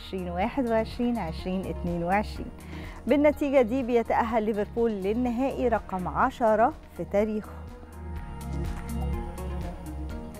كيفن دي بروين نجم مانشستر سيتي الإنجليزي اكد إن فريقه هيكافح النهارده قدام فريق فيا ريال من أو عفوا فريق ريال مدريد من أجل التتويج باللقب الأوروبي في الموسم الحالي. وقال دي بروين في المؤتمر الصحفي الخاص بالمباراة أعتقد إحنا في حالة جيدة جدا وجاهزين للمباراة. الكرواتي لوكا مودريتش قائد فريق ريال مدريد الإسباني كشف عن آخر استعدادات الملكي لمواجهة فريق مانشستر سيتي النهارده على ملعب سانتياغو برنابيو ضمن منافسات لقاء العودة في الدور نصف نهائي دوري أبطال أوروبا. لوكا قال في المؤتمر الصحفي للمباراة لو لعبنا بأسلوبنا وبشخصيتنا هنتاهل. إحنا واثقين من قدرتنا على الفوز لأننا فريق عنده أكتر من أكتر عدد ألقاب في دوري أبطال أوروبا وما بنعرفش إزاي نستسلم. نادي بايرن ميونخ الألماني أعلن تمديد عقد توماس مولر مهاجم الفريق لغاية 2024 في ظل رغبة إدارة البافاري في بث الاستقرار للفريق اللي تم تتويجه من كام يوم بلقب الدوري الألماني. إحنا شفنا مع بعض الفوز الكبير اللي حصل لفريق ليفربول على فيا ريال في لقاء العودة بدور قبل النهائي بدوري الأبطال الأوروبي عشان الريدز يحجز المقعد الأول في نهائي دوري الأبطال مستني الفايز من ريال مدريد ومانشستر سيتي في اللقاء اللي هيتلعب النهارده. خلينا نتكلم عن تفاصيل ماتش امبارح ومين أقرب يكون الطرف الثاني معانا على التليفون الناقد الرياضي محمد عفيفي صباح الخير عليك يا محمد أهلا وسهلا بيك. صباح الخير جمانة هانم صباح الخير أستاذ محمد وصباح الخير على كل مشاهدي صباح الخير يا مصر وعيد سعيد على الجميع يا رب. أهلا وسهلا بيك. آه خلينا نبتدي كده البداية وماتش امبارح. إحنا شفنا كده إن الشوط الأول ما كانش بتاع ليفربول قوي. إيه اللي كان حاصل؟ بالتأكيد الشوط الأول كان سلبي للغاية 45 دقيقة هي الأسوأ يمكن لليفربول في مبارياته بشكل عام سواء كان اوروبيا أو حتى محليا. فقدان نصف الملعب بشكل سلبي دفاعيا تحديدا أو حتى الأداء الدفاعي كان في حالة من الهزة. بالنسبة لدفاع فريق نادي ليفربول وده ما بيحصلش كتير بالنسبة لليفربول. لكن إحنا دايما لما بنتكلم بنتكلم عن إنه هوية فريق أو شخصية فريق. ده اللي كان موجود بالنسبة لليفربول أو ده المعنى الحقيقي لمعنى هوية أو شخصية فريق على أرض الملعب. حتى وإن خسر أو تأخر في النتيجة في الدقيقة الثالثة بولايديا سجل الهدف الأول لفيا ريال الإسباني ثم كوكلين سجل الهدف الثاني في الدقيقة 41 ده كله انتهى أو اتمحى بالنسبة لعقلية يورجن كلوب هذا المدير الفني الألماني بالنسبة لليفربول وكيفية التعامل بمرونة تكتيكية. فياريال عمل نتيجة إيجابية جدا في أحداث الشوط الأول لكن ما عندوش المرونة التكتيكية والفرق اللي بتلعب على بطولة لازم يكون عندها قدرة على التعامل مع مثل هذه المباريات وهذا الشكل طالما متفوق إزاي تتعامل على أرض الملعب. وده اللي ما قدرش يعمله الاسباني يوناي إمري المدير الفني لفياريال اللي ما عندوش مرونة تكتيكية أو حتى أدوات من اللاعبين على البنش على دكة البدلاء تقدر إنها تنزل تغير في الشوط الثاني أو تعمل تحويلة باستغلال التفوق اللي كان موجود هناك في الملعب في إسبانيا مع الحضور الجماهيري الكبير. فريق ليفربول قدم المستوى الاستثنائي في الشوط الثاني وحتى البديل اللي هو عايش في بس بس اصبر عليا بس أنا مش عايزه أتكلم لسه عن الشوط الثاني اصبر عليا كده نخلص كلامنا عن الشوط الأولاني إحنا لو بصينا على بعد دقيقتين لقينا جون حاجة أربكت خالص يعني ليفربول ما بقوش عارفين يتصرفوا إزاي. شوية وإحنا لقينا الشوط الأول يمكن نهى على نتيجة إن فيا ريال معاهم هدفين. لو كانوا طولوا شوية أو لو كان الأمور مشت في سياق آخر كان لو جابوا الجون الثالث كانت هتبقى ريمونتادا تاريخية على ليفربول. فده كان بسبب إن فيا ريال كانوا مستعدين قوي ولا ليفربول كانوا مستهونين بيهم قوي أو واثقين في نفسهم أكتر مما ينبغي؟ فهو ده اللي سبب الربكة اللي شفناها. إلى حد كبير الخطفة في البداية لدفاع فريق نادي ليفربول أو الاستهوان إلى حد ما. هو ما أقدرش أقول استهوان لأنه ده مستوى عالي من العقلية والصلابة الذهنية لدى لاعبي ليفربول ولكن في بعض المباريات اللي بتكون ملاعب صعبة بعض الفرق بتتاخد شوية على اخواننا زي ما بيقولوا. تحديدا لما بيكون في هدف مبكر بيربك حسابات الفريق على أرض الملعب. وتحديدا نص ملعبه اللي بيضبط الايقاع الإيقاع. وده كان مفقود من نادي ليفربول ولذلك فقد كل شيء على أرض الملعب. الهزة شملت كل اللاعبين. ولكن فكرة إنه وإحنا قاعدين بنتفرج المباراة وكأننا عارفين إن ليفربول يقدر يرجع في أي وقت. وده اللي زي ما قلت عليه فكرة الهوية الشخصية. يورجن كلوب الأدوات اللي عنده من اللاعبين والمرونة التكتيكية فكرة إن لاعب واحد ينزل يغير الشكل العام بالنسبة لليفربول ويعمل حصار لدفاع فيا ريال أو ما يخلوش يبني الهجمة بالشكل المطلوب المرغوب فيه مع الضغط اللي بيعمله أو يخلي محمد صلاح يسحب مع المدافعين وإن هو يصنع الهدف لاستغلال لاعب جاي من نص الملعب هو الهدف الأول اللي أربك حسابات فيا ريال وحسسهم إن هم خرجوا بره المباراة بشكل تام. دي المرونة التكتيكية اللي بتكلم عنها والصلابة الذهنية لدى اللاعبين. فكرة إنه فريق بحجم ليفربول لما اتخطف بهدف والتاني ما فقدش كل شيء على أرض الملعب ونزل الشوط الثاني وكأنه مهزوم. فكرة الصلابة الذهنية ودي حاجة بيتميز بها ليفربول ودايما بيتميز بيها الفرق اللي بتبحث عن الألقاب. لأنه فيريال مشكلته إنه ما عندوش فكرة المرونة التكتيكية وكيفية التعامل plan A B C على أرض الملعب في كل وضعية لأن فيريال ما كانش يتوقع بالمرة إنه يتفوق على ليفربول بهدفين في الشوط الثاني وكمان يوناي إمري ما عندوش الأدوات اللي تقدر تغير له أو تحافظ له على النتيجة أو تكبر له النتيجة على أرض الملعب. أكيد. طيب خلينا نتكلم بقى في اللي يخصنا في الموضوع ده كله. إحنا دلوقتي صلاح ده ثالث مرة يوصل مع ليفربول للنهائي وده ثالث مرة لليفربول في النهائي. إحنا متخيلين مين أفضل لليفربول يعني يقابله في النهائي؟ والله أنا أتمنى ريال ثالث مرة مع صلاح. بشكل كبير. هو كمان هيبقى النهارده في موقف صعب جدا أمام مانشستر سيتي. السيتي عنده مشروع بيب جوارديولا هذا المدير الفني الإسباني أصلا مشروعه ما بعد ما جاء من بايرن ميونخ وما حققش مع بايرن ميونخ دوري أبطال أوروبا جاي مع مانشستر سيتي علشان يحقق دوري أبطال أوروبا اللي ما حققوش قبل كده. وهو حقق ثلاث ألقاب منهم لقبين متتاليين أخيرين مع مانشستر سيتي في الدوري الإنجليزي. اذا هو تشبع من البطولات المحلية ويبحث عن دوري أبطال أوروبا ومن ثم هناك نجاعة مختلفة. وريال مدريد لسه فايز بالدوري رقم رقم 35 ليه في الدوري الإسباني ومن ثم اللاعبين في حالة ذهنية إلى حد ما بعد الفوز باللقب. مش هو ريال مدريد اللي كنا بنتابعه بشكل قوي جدا في السنوات الماضية. صحيح وصل لنصف نهائي دوري أبطال أوروبا ولكن يبقى هناك عيوب فنية كثيرة ولما ما بيكونش لاعبيه في حالتهم أو تحديدا كريم بنزيما مش صاحي هجوميا ممكن الفريق يفقد الكثير على أرض الملعب. أعتقد إن ريال مدريد بالنسبة لمحمد صلاح تحديدا اللي يخصنا ابننا اللي مننا وليفربول طبعا إنه يبقى ريال مدريد أمام ليفربول في المباراة النهائية هناك في باريس. لكن أتوقع إنه مانشستر سيتي مانشستر سيتي من الفرق الثقيله قوي وزي ما قلت عندها هدف أو بيت جوارديولا عنده هدف مع إدارة مانشستر سيتي إنه يحقق دوري أبطال أوروبا. لأنه لو ما حققوش في هذا الموسم قد يكون هناك في تغيير لبيب جوارديولا لما هو هدف أو تكبير الهدف لدوري أبطال أوروبا وتحقيقه في السنوات الماضية. أكيد. السنوات القادمة بإذن الله. أكيد. طيب مباراة النهارده الريال وسيتي إيه اللي هيحصل؟ مباراة صعبة جدا. زي ما إحنا عارفين إنه ريال مدريد سجل في ملعب الاتحاد هناك في مدينة مانشستر ثلاثة أهداف ولكن إحنا في دوري أبطال أوروبا من نسخة هذا الموسم ما فيش الأهداف الاعتبارية. يعني الهدف بره مش بهدفين في حالة التعادل. ومن ثم هو كأن مانشستر سيتي متفوق هو تفوق 4 3 فكأنه متفوق واحد لا شيء فقط في ملعبه. اختبار جديد لبيب جوارديولا ولاعبي مانشستر سيتي لأنه هو خاض نفس الاختبار بشكل أصعب يمكن كمان مع أتلتيكو مدريد لما تفوق في مانشستر واحد لا شيء وقدر إن هو يخرج بالتعادل السلبي من مدريد هناك في واندا متروبوليتانو ملعب أتلتيكو مدريد. هو م. اختبار جديد وده يديله ثقة أكبر إنه عارف يخرج من موقعة صعبة جدا من مدريد. يمكن ريال مدريد مش أصعب بكتير من أتلتيكو مدريد إنه يخرج بتعادل سلبي أو إن هو يقدر يتفوق مانشستر سيتي. زي ما قلنا كمان الأفكار اللاعبين مهيئين إنه دوري أبطال أوروبا هو الأهم بالنسبة لنا في هذا الموسم. فأعتقد إن المباراة صعبة جدا. وزي ما قلت كمان فكرة إنه ريال مدريد لسه محقق لقب جديد في الدوري الإسباني اللقب رقم 35 بمساعدة الغير بقى. ups and down بالنسبة لأتلتيكو مدريد وإشبيليا وبرشلونة طبعا والسقوط الكبير ومن ثم حقق ولكن هو حقق لقب. وده بيأثر سيكولوجيا أو ذهنيا على عقلية لاعبي ريال مدريد. محترفين آه ولكن فايزين بلقب. وده ممكن يأثر بشكل أو بآخر على قدرتهم إن هم يتفوقوا في هذه المباراة بهدفين أو حتى يحققوا هدف علشان يعدلوا النتيجة وتتمدد المباراة، مباراة صعبة جدا ولكن أرى إن الأقرب مانشستر سيتي إنه يعبر من هذه الموقعة للتأهل للمباراة النهائية علشان نشوف ديربي إنجليزي جديد في نهائي دوري أبطال أوروبا. طيب أنا عايزة أعرف بقى التأثير زي ما حضرتك بتقول التأثير عند ريال مدريد. إحنا متخيلين إن هو هيكون تأثير إيجابي. يعني حي... ح... لسه فايزين وحاسين بقى بنشوة الفوز وفرحة النصر. أعتقد إن ده قد يؤثر بشكل إيجابي. والله أنا بشوف في بعض الأحيان هو في مصر وفي الوطن العربي بيأثر بشكل سلبي. إحنا عندنا هنا اللي بيحقق بطولة خلاص بينخفض بي بيستريح شوية. حقيقي. بالنسبة لهؤلاء اللاعبين آه المفروض هم لاعبين محترفين ال category الأعلى في العالم ولكن أنا شايف ان ده ممكن يأثر بشكل أو بآخر بالسلب مش بالإيجاب على ريال مدريد. وكأنه إحنا لسه محققين بطولة فبالنسبة لنا إحنا وصلنا للمستوى الأعلى في دوري أبطال أوروبا. ممكن ما يقدروش إن هم يتعاملوا مع مباراة زي ما قلت هيكون فيها الأداء التكتيكي والقوة والمحاولة للحفاظ على النتيجة الإيجابية اللي اتحققت في ملعب الاتحاد هناك في مدينة مانشستر.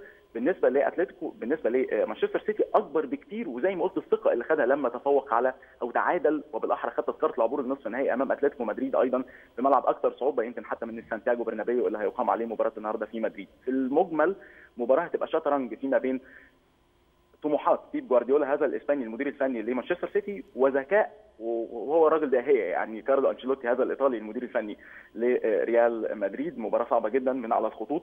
الأكثر تركيزا الأقل أخطاء اللي عنده مرونة تكتيكية على أرض الملعب ولازم ريال مدريد علشان يعافر في هذه المباراة إنه يخطف هدف مبكر في الشوط الأول وما يستناش. ويكون كريم بنزيما هو الأيقونة بتاعه أوروبا بشكل عام والدوري الإسباني بشكل خاص. هذا رجل في أفضل جاهزية وأفضل حالة لاستغلال أنصاف الفرص في هذه المباراة لأنه كمان دفاع مانشستر سيتي رغم هناك مشاكل فيه ولكن يبقى من أقوى الفرق التي تملك دفاع قوي جدا ممكن أن تكون حجر عثره أمام هجوم ريال مدريد حتى وإن كان كريم بنزيما في أفضل حالاته. هنستنى وهنشوف إيه اللي هيحصل محمد عفيفي الناقد الرياضي شكرا جزيلا ليك. مشاهدينا خليكم معانا نروح لفاصل سريع ونرجع نكمل باقي حلقتنا خليكم معانا.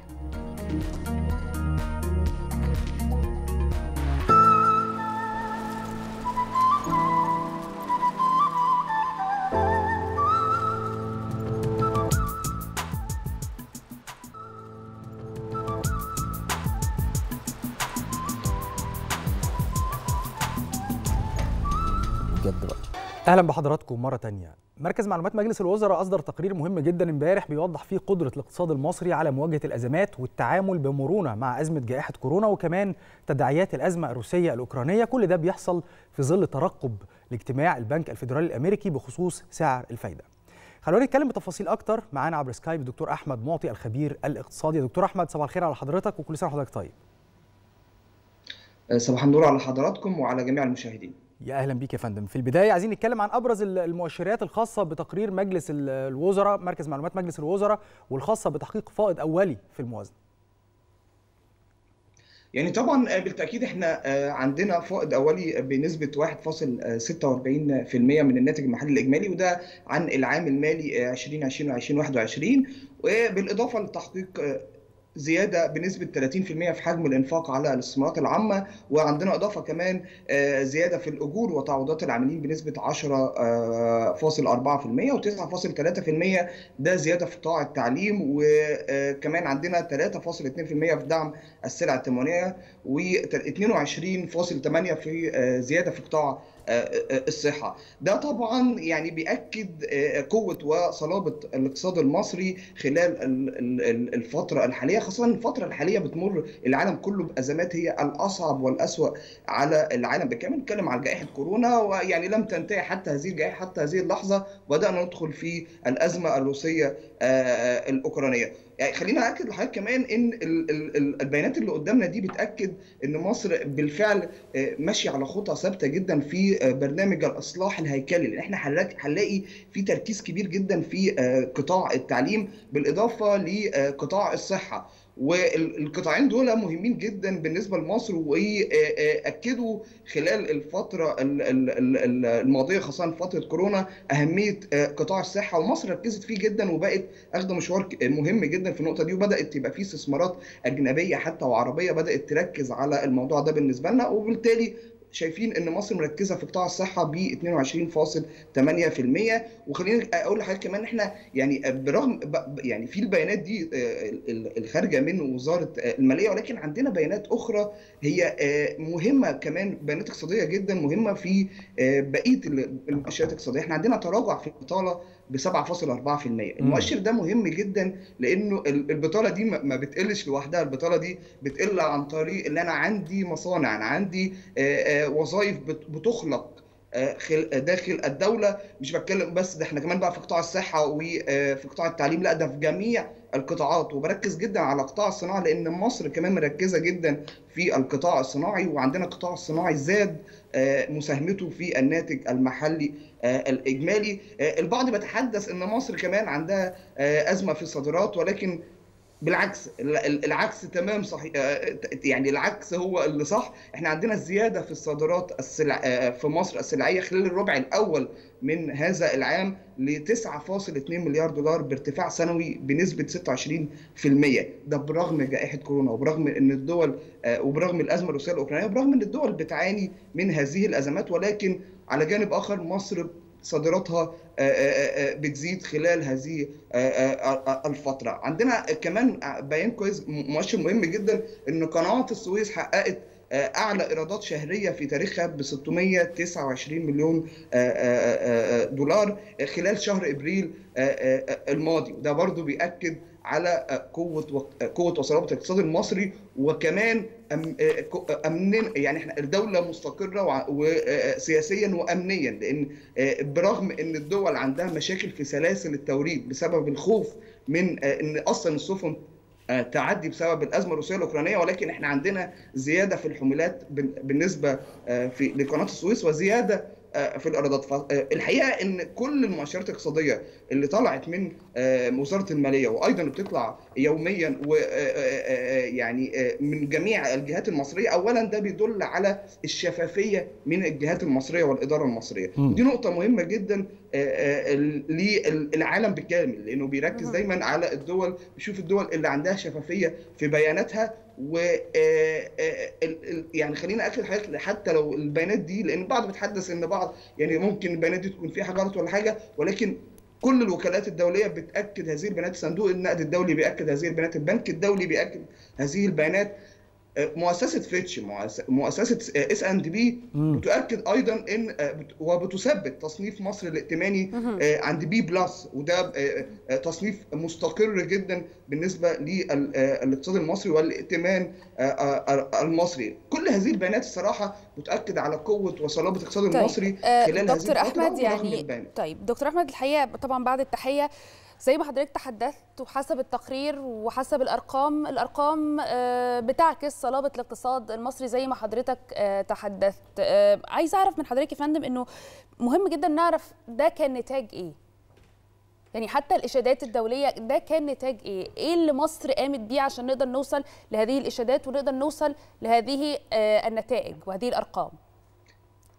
الحقيقة يا أستاذ جمانه إن هذه الأرقام وهذه البيانات هي ليست نتاج عمل يوم أو يومين ولا حتى سنة، البداية كانت من القيادة السياسية ويعني طبعا بنشكر الرئيس عبد الفتاح السيسي أنا بشكره جدا لأن بالفعل يعني إحنا بنتحدث عن عقلية فذة أنقذت مصر من هبوط كبير جدا في ليس في يعني مش ليس فقط امنيا وسياسيا ولكن اقتصاديا. لأن البداية كانت في 2016 من برنامج الإصلاح الاقتصادي، لولا برنامج الإصلاح الاقتصادي اللي مصر اتخذته خلال هذه الفترة ما كناش حتى هذه اللحظة ثابتين ومستقرين في يعني خلال هذه الفترة اللي بتمر بها العالم من الأزمات. يعني بعد كمان بعد ما خلصنا برنامج الاصلاح الاقتصادي دكتور أحمد؟ بعد ما خلصنا بر... آه أنا سامع حضراتكم كده. اتفضل. يا فندم. ألو؟ اتفضل يا فندم. طيب دكتور أحمد حضرتك سمعنا طيب يبدو أننا فقدنا الاتصال بدكتور أحمد معطي الخبير الاقتصادي. طبعا هنحاول نعود الاتصال بيه مرة تانية. يعني زي شاذلي ما تابعنا الأرقام والتقارير الحقيقة بتشير لصلابة الاقتصاد المصري. وزي ما كان دكتور أحمد بيتكلم إنه لولا الإصلاح الاقتصادي برنامج الإصلاح الاقتصادي في مرحلتين. أول مرحلة كان سيادة الرئيس عبد الفتاح السيسي تحدث عن إنه المواطن المصري هو بالفعل من تحمل أعباء هذا البرنامج. أما المرحلة الثانية كانت المرحلة كانت خلينا نقول إن هو وصفها بإنه آه يعني إنه المواطن خلاص هيبدأ إنه يجني ثمار آه ما تحمله في المرحلة الأولى.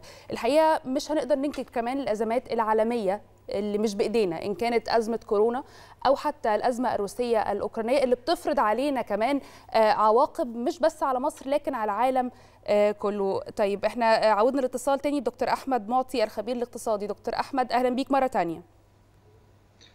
أهلا بحضرتك أستاذ جمانه واعتذاراتي بس الصوت كان فيه مشكلة. ولا يهمك يا فندم. إحنا كنا بنتحدث يا فندم عن آه نتاج آه هذه الأرقام. كنا بنتكلم إيه الأسباب اللي إحنا قدرنا نوصل بيها لهذا آه لهذه الأرقام. وأيضا زي ما حضرتك تحدثت عن صلابة الاقتصاد المصري.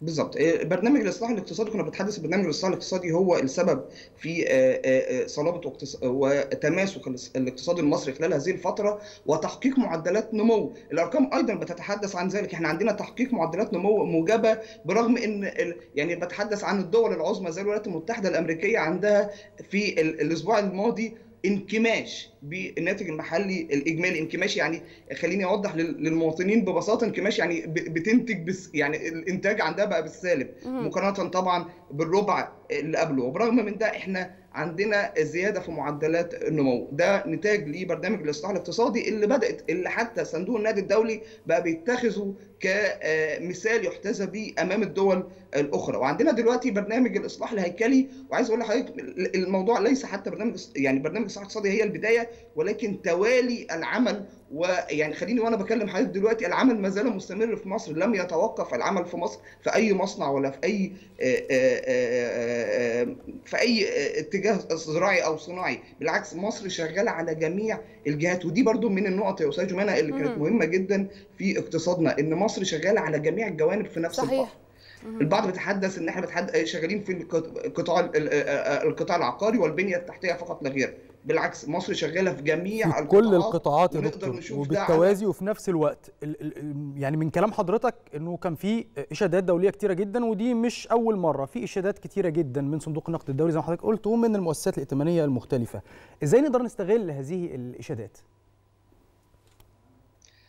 بالظبط أستاذ محمد. هو الفترة دي بقى هي الفكرة إحنا إزاي نستغل هذه الإشادات في جذب استثمارات جديدة. وده اللي أكده الرئيس حتى إن في الاجتماع الماضي إن بالفعل التركيز هذه الفترة على الاستثمارات الخاصة والاستثمارات حتى الخارجية. وده اللي مصر مركزة عليه هذه الفترة. وبالفعل البيانات اللي قدامنا اللي بنتحدث عليها أمامنا هي يعني أكبر مثال لينا أو أكبر إشارة للعالم الخارجي للاستثمار داخل مصر وده شفناه بالفعل من الجانب الخليجي، الجانب الخليجي شفنا خلال هذا الشهر استثماراته وداخل مصر وده بيدل على ثقته في الاقتصاد المصري وصلابته وصلابة الاقتصاد المصري إنه لو مش شايف إن الاقتصاد المصري بيحقق هذه الأرقام بالفعل ما. كانش بدأنا نشوف ال- ال- ال- ال- الدول الخليجية تبدأ صحيح. إنها تستثمر آه، في مصر وما بدأناش نشوف كمان الدول آه، الشركات الكبيرة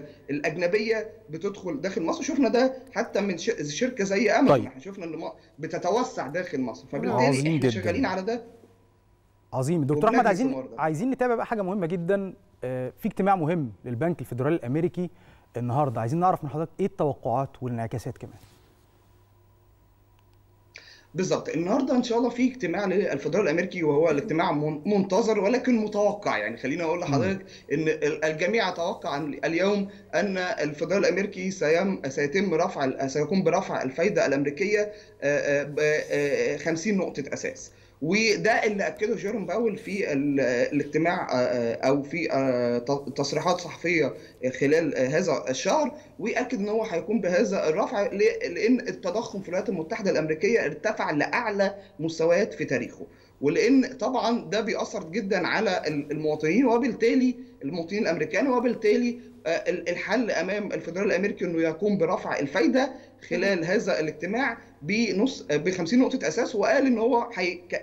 خلال هذا السنة كمان هيقوم برفع الفايدة بحوالي ست آه، ست مرات آه، خلال هذا العام يعني لمحاولة كبح جماح التضخم اللي آه، بقى كبير جدا في الولايات المتحدة آه، آه، آه، آه، آه، الأمريكية. وخاصة إن كمان مش بس ده إحنا كمان بنشوف إن الفدرال الأمريكي بيقوم بتجديد السياسة آه، آه، آه، آه، النقدية بالكامل. فده متوقع جدا النهارده آه، نشوفه. ولكن منتظرين تلميحات أكتر من جيروم باول اليوم عن آه، الاقتصاد الأمريكي يعني إحنا شفنا. بيانات الأمس خرجت من الولايات المتحدة الأمريكية إنهم يتوقعوا تحسن في معدلات النمو آه، وإن معدلات النمو اللي خرجت ال- الأسبوع اللي فات بالسالب أو انكماش عندهم مم. يعني هم شايفين إن الفترة الجاية هيكون في تحسن. هنشوف التلميحات دي النهارده من جيروم باول هيأكد أكيد إحنا هنتابع ده يا. فندم. يعني طبعا هذا الاجتماع هو اجتماع هام جدا. لكن خليني أسأل حضرتك أيضا عن آه، نقطة هامة جدا. الحقيقة إنه مجلس الذهب العالمي قال إنه البنك المركزي المصري زود احتياطه من الذهب بحوالي 44 آم، 44 طن. وده طبعا بكده يكون ارتفع اجمالي الاحتياطي من الذهب ل 125 طن بنهايه الربع الأول من العام الجاري. عايزين نفهم من حضرتك يعني إيه البنك المركزي يشتري 44 طن من الذهب وإيه انعكاس ده على الاقتصاد المصري؟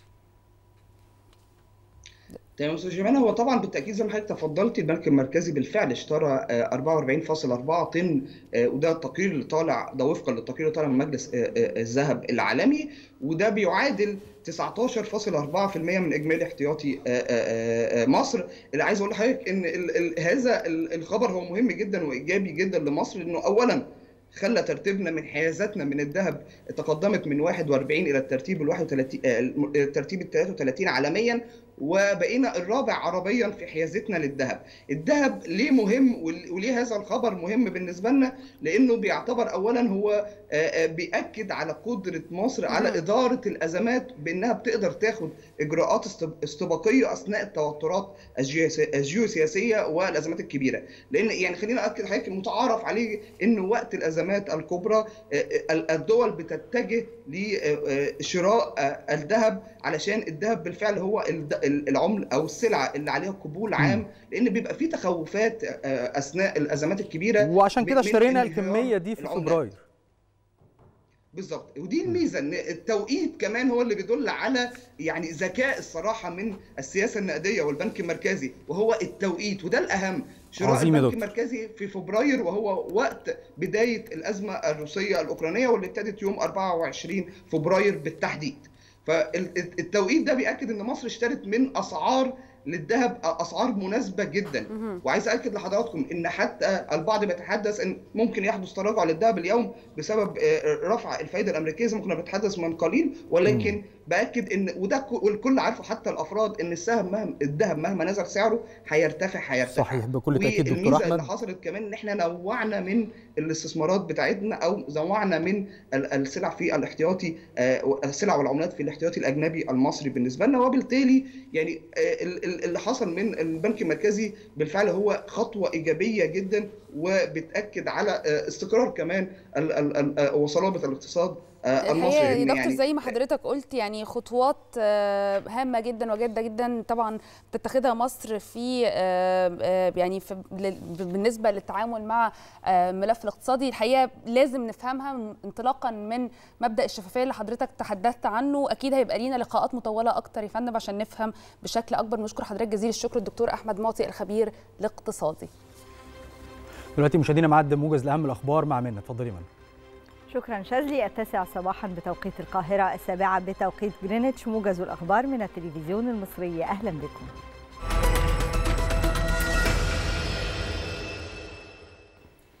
تنفيذا لقرار رئيس الجمهورية بشأن الإفراج بالعفو عن باقي مدة العقوبة بالنسبة لبعض المحكوم عليهم الذين استوفوا شروط العفو بمناسبة عيد الفطر المبارك. أفرج قطاع الحماية المجتمعية عن 986 من نزلاء مراكز الإصلاح والتأهيل.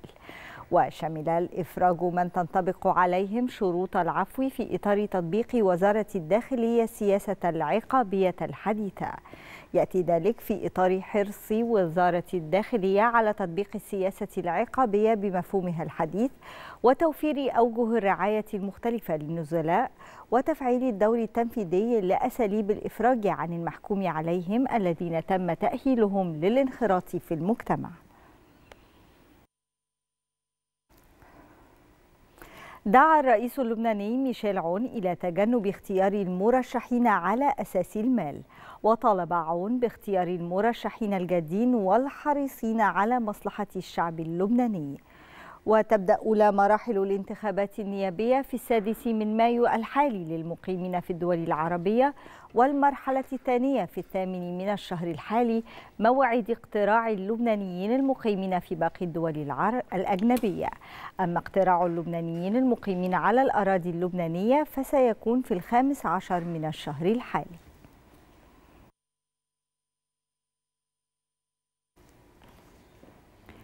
شنت روسيا هجوما عنيفا مدعما بالدبابات والمشاة على مصنع آزوفستال وهو آخر جيب للمقاومة الأوكرانية في مدينة ماريوبول الجنوبية. ومن جهة أخرى أعلنت الأمم المتحدة أنه تم بنجاح إجلاء 101 مدني عالقين منذ أسابيع في مجمع أزوفستال.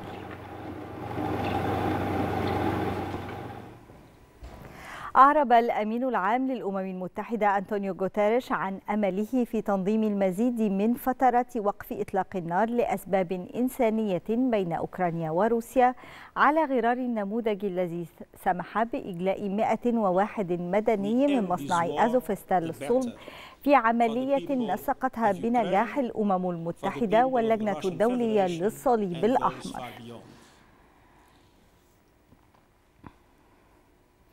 قال الرئيس الأمريكي جو بايدن إن واشنطن أرسلت مساعدات أمنية تقدر بأكثر من ثلاثة مليارات دولار إلى أوكرانيا منذ بدء العملية العسكرية على أوكرانيا في فبراير الماضي. موضحا أن هذا المبلغ خصص لدعم الديمقراطية والحرية في كييف. وفي كلمة له أثنى بايدن على ما يقوم به الشعب الأوكراني أمام الجيش الروسي. وأوضح أنهم يقاتلون من أجل بلدهم مضيفا أن أمريكا تقود الحلفاء للتأكد من تزويد الأوكرانيين بالأسلحة اللازمة للدفاع. يجتمع مجلس الأمن الدولي غدا الخميس لمناقشة الأزمة في أوكرانيا بعد نحو أسبوع من زيارة الأمين العام للأمم المتحدة أنطونيو غوتيريش لكييف. وفي وقت سابق قال حاكم منطقة دونتسك شرق أوكرانيا بافلو كريلينكو إن هجمات روسية على المنطقة أودت بحياة 21 مدنيا وأصابت 27 آخرين. قال جيش كوريا الجنوبية إن كوريا الشمالية أطلقت مقذوفا غير محدد نحو البحر قبالة الساحل الشرقي.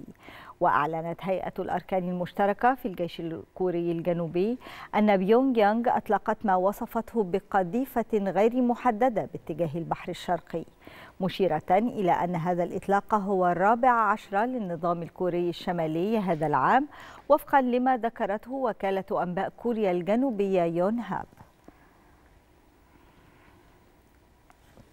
ورياضيا تأهل ليفربول إلى نهائي دوري أبطال أوروبا بعد تخطي فياريال في الدوري قبل النهائي بخمسة أهداف مقابل هدفين في نتيجة مباراتي الذهاب والعودة لينتظر الفائز من مباراة ريال مدريد ومانشستر سيتي في المواجهة الثانية في قبل النهائي المقررة مساء اليوم.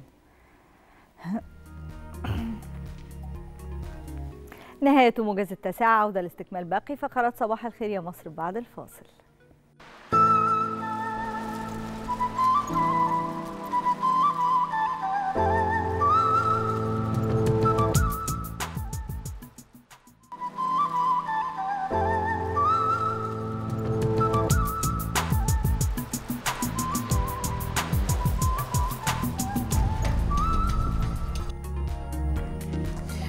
نرحب بحضراتكم مرة تانية. من أهم الأماكن اللي بيكون عليها إقبال كبير في الأجازات وخاصة أيام الأعياد هي منطقة الهرم الأثرية لأنه بيكون فيها أجواء العيد مختلفة وبتكون فسحة لطيفة جدا الأطفال كمان الكبار. خلينا نروح لزميلنا كريم بيبرس هنتابع معاه أجواء الاحتفال بالعيد من من الأهرامات. صباح الخير عليك يا كريم.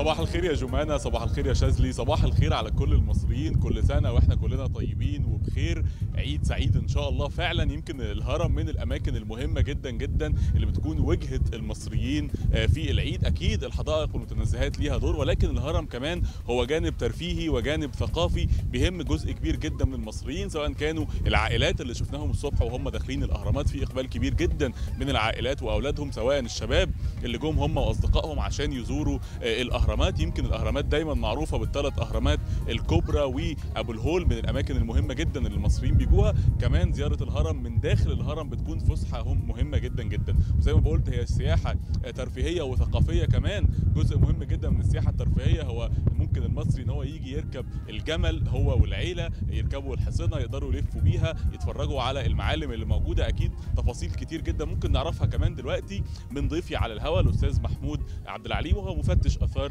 هنا في منطقة الهرم. بصبح على حضرتك كل سنه وحضرتك طيب وبخير؟ صباح الخير وصباح الخير للجمهور وكل سنة وأنتم طيبين. وعيد سعيد على الأمة العربية كلها جميعا بإذن الله. إن شاء الله بإذن الله. عايزين يا فندم نتكلم عن إقبال المصريين في العيد. بيبقى الإقبال أشد وأكتر من الطبيعي وكمان مقارنة بالأيام الطبيعية السياح هنا أخبارهم إيه؟ إحنا حاليا في موسم الأعياد دايما بيبقى إقبال منقطع النظير يعني. في المنطقة حاليا بيدخلها أعداد كبيرة تتراوح ما بين من ما بين 20000 ل 30000 بالإضافة لجميع الأجازات جميع الأجازات اللي موجودة اللي المصريين بياخدوها تلاقي دايما في تواجد للمصريين هنا في منطقة آثار الهرم بالذات. عدد الأجانب. إحنا حاليا في نهاية الموسم بتاع الأجانب بصفة عامة. الموسم بيبتدي من شهر تسعة بينتهي في شهر ثلاثة بس في برضه بعض تواجد لبعض الأجانب الموجودين من جهات مختلفة من العالم من شرق آسيا تحديدا. يعني في أعداد كبيرة موجودة منهم حاليا. بالإضافة إلى وجود المصريين. المصريين من إجازات نص السنة ونصف العام طبعا أعداد منقطعة النظير. الأعياد أول يوم وثاني يوم وثالث يوم برضه بتبقى أعداد متواجدة بصفة مستمرة. فندم حضرتك كنت بتكلمني على إنه الأعداد وصلت تقريبا 20 و30 ألف يوميا من المصريين الموجودين هنا. الناس بتيجي تزور الهرم عارفين الثلاث أهرامات ثلاث أهرامات بس. إيه تاني ممكن يشوفوه هنا ويتفرجوا عليه؟ في عندنا هنا إدارة اسمها إدارة الوعي الأثري بقائمة مجموعة من المفتشين بالإضافة لأن إحنا بنعمل غرفة عمليات كبرى فترة الأعياد والمواسم. دورها إن هي تساعد المواطن المصري على فهم حضارة بلده وبيساعد بتساعده على شرح المكان سواء أجانب برضه أو مصريين. في بعض الأجانب اللي جاية من غير مرشد فبتطلب حد يديها بعض المعلومات عن المكان وكله مجانا. طبعا بالإضافة برضه إلى المصريين الأسر في بعض الأسر جاية من محافظات أول مرة تزور الهرم. بالنسبة لها المكان ده تاريخي مكان تراث عالمي نفسه يشوفه نفسه يتعرف على المكان. أما لو دخل في بعض الناس بتدخل تزور منطقة الهرم وتخرج منها ما تبقاش عارفة فين الهرم الكبير فين الهرم التاني. إيه اللي جوه الهرم؟ إيه إزاي الهندسة المعمارية بتاعته. دور مفتش الآثار إن هو يساعد المواطن على فهم المكان يخلي كأن الحجر هو اللي بيتكلم بيفهمه إيه هو المكان إزاي اتبنى طريقة البناء مين صاحب الهرم. كل الحاجات ديت المفتش الآثار بيقوم عليها. طيب حضرتك كنت بتكلمني من شوية كمان إن هم مش ثلاث أهرامات بس. ممكن ندي معلومة أكتر عن الناس هم قد إيه؟ وإيه آخر التطورات اللي حصلت تشد الناس أكتر إن هي تيجي؟ إحنا مصر جميع مصر بالكامل يتراوح عدد الأهرامات اللي موجود فيها حوالي 124 هرم. هنا منطقة الأهرامات فيها تسع أهرامات هرم خوفو وخفرع ومنكورع الهرم الأكبر طبعا هو هرم خوفو وهرم خفرع هو الهرم الأوسط والهرم الثالث هو هرم منكورع ده الهرم الصغير. في ثلاث أهرامات صغيرين كمان شرق الهرم الكبير وفي ثلاث أهرامات صغيرين جنوب الهرم الثالث جنوب هرم منكورع يعني كده عدد الأهرامات اللي موجودين عندنا في المنطقة تسع أهرامات. المصري بيجي بيفكر إن هم خوفو وخفرع ومنكورع لا في ثلاث أهرامات في عندنا آه، آبار في مقابر لكبار رجال الدولة في عندنا طبعا تمثال أبو الهول حارس الجبانة. دي محتويات المقبرة. بالإضافة برضو إلى مقابر العمال اللي موجودة هنا في المنطقة. طيب حضرتك كنت بتكلمني كمان على فكرة التطورات الأخيرة اللي حصلت هنا أو الجاري العمل عليها عشان يتم افتتاحها قريبا. إيه آخر التطورات وإزاي هتبقى أسهل آه، للناس؟ وإيه الحاجات الصديقة للبيئة اللي كنت بتكلمني عليها كمان؟ وزارة الآثار وبنخص بالذكر منطقة آثار الهرم بتسعى دايما إلى إن الزائر اسعاد الزائر.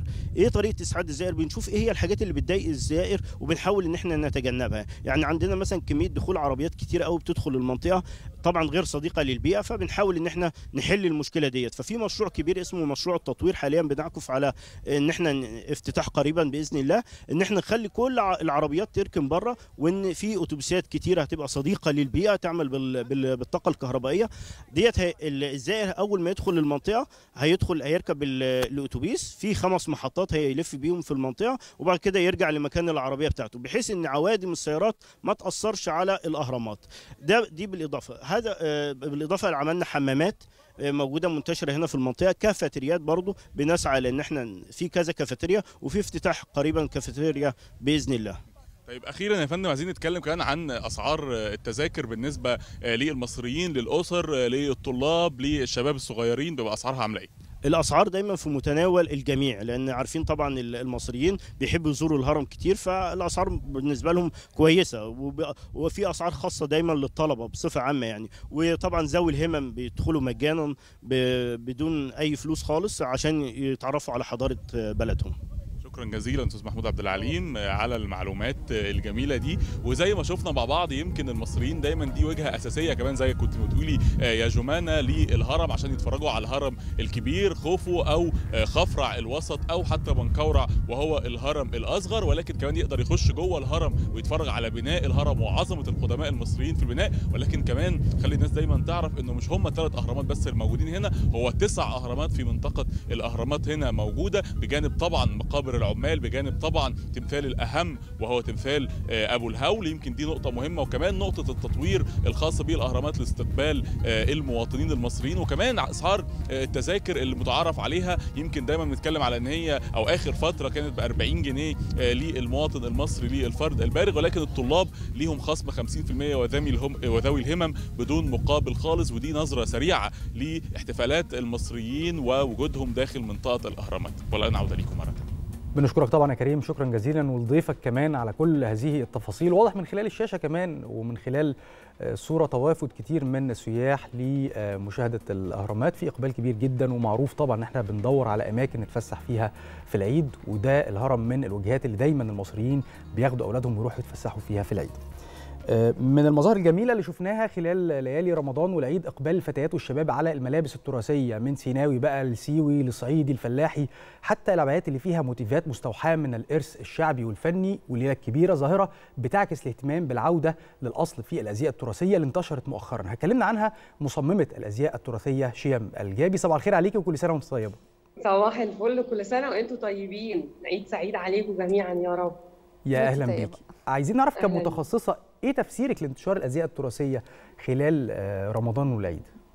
هو بصراحة أزيائنا التقليدية التراثية دايما آم، أكتر وقت بيحبوا البنات أو السيدات إنها تلبسهم يبقى في رمضان يبقى يمكن عشان دي أزيائنا التقليدية بيبقى في صعوبة طول السنة إن إحنا نلبسها بس يمكن في رمضان بنرجع ل لجذورنا ولأصولنا. فعشان كده بنبقى حابين إن إحنا نلبس حاجة بتعبر عن الهوية بتاعتنا. مصريين فبنرجع للأزياء التراثية. وزي ما حضرتك تفضلت وقلت عندنا لكل محافظة زي تقليدي أو زي تراثي بيعبر عن المحافظة. زي الزي في سينا زي الزي في سيوة زي الصعيد التلس الملس والتلي. كده يعني في. حاجات كتير عندنا عندنا غناء مهم. ب- شام يمكن. مهم. آه، يعني الاسم المتعارف عليه هو الكفتان إحنا في رمضان خلاص بقينا حافظين انه الزي الرسمي هو اللي بيطلق عليه الكفتان اللي هو اللي, انت بتتكلمي عليه ان هو الأزياء التراثية آه، عايزه أعرف منك يعني آه، هذه الأزياء مستوحاة بتبقى يعني بتبقى دمج ما بين أي ثقافة؟ يعني إحنا كنا بنتكلم إن السيوي والسيناوي ويعني بيبقى فيه آه، الحقيقة بتبقى مستوحاة من عدة ثقافات. شايفة إنه القفتان اللي القفتان اللي إحنا بنشوفه في رمضان ده جاي منين؟ وإيه سبب انتشاره خاصة مؤخرا؟ يعني مثلا بقى لنا بتاع 3 4 سنين كده. هو القفطان أصله مغربي مش مصري. بس إحنا لا إحنا بنقول إحنا- عليه كده هنا يعني بس آه بنلاقيها هو إحنا إحنا عندنا آه، فكرة العباية المفتوحة بنقول عليها في مصر بشت. بشت مش قفطان القفطان مغربي بس هم نفس الفكرة. بس أقدر أقول عشان عندنا تثقف آه، والهجرات والفتوحات الإسلامية فاحنا عندنا دمج ما بيننا وما بين دول عربية في حاجات كتير. فعشان كده ممكن نقول إن إحنا آه في مزج إنما نقدر نقول اسمه قفطان مغربي. ولما مم. بنلبس ال ال الكافتن زي ما بيقولوا في مصر دايما اهو بيستخدموها باللغة الإنجليزية. الكافتن هم اللي هو زي عباية أو فستان مفتوح. إحنا. بقى العباية أو الفستان المفتوح عندنا اسمها بشت في مصر متعارف عليها زمان لما نيجي نتكلم عليها نقول بشت يعني إنها إحنا ننسى بقى موضوع الكفتان أو القفتان زي ما بيطلق عليه ونقول بشت خلاص. هو اسمه بشت. آه، بيبقى عبارة عن زي عباية مفتوحة. آه، بس فاحنا طبعا عندنا زي ما قلنا عندنا سيوة ليها موتيفات معينة وتطريز معين. عندنا آه، مصر آه، يعني غنية يعني بازياء تقليدية كتير. عشان كده إحنا ما عندناش زي وطني. بس ده مش لافتقارنا بالعكس ده بالغنا. ده عشان غنانا ده عندنا. التلي عندنا الملس عندنا ال- الجلابية الفلاحي اللي فيها الوردة عندنا ال- ال- التوب في سيوة عندنا التوب ال- العدوي عندنا أم، أم، برضو عندنا الجرجار النوبي.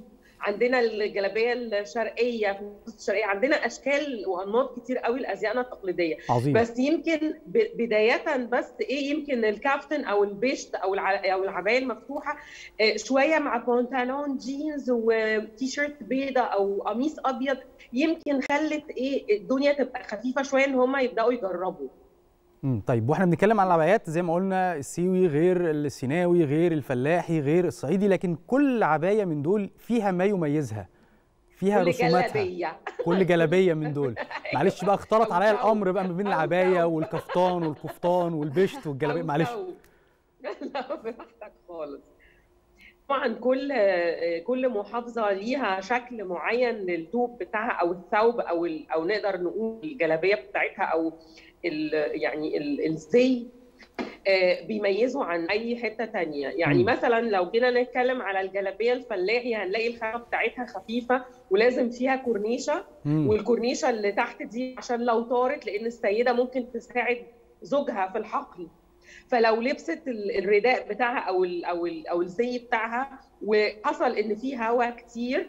آه، ال- الكورنيشة بتترفع فالزي ما بيترفعش فدي نظرية وظيفية يعني مم. حتى ال- ال- ال- التصميم بتاع الزي مش لمجرد شكل الشكل الجمالي. وظيفة. بالظبط بالظبط.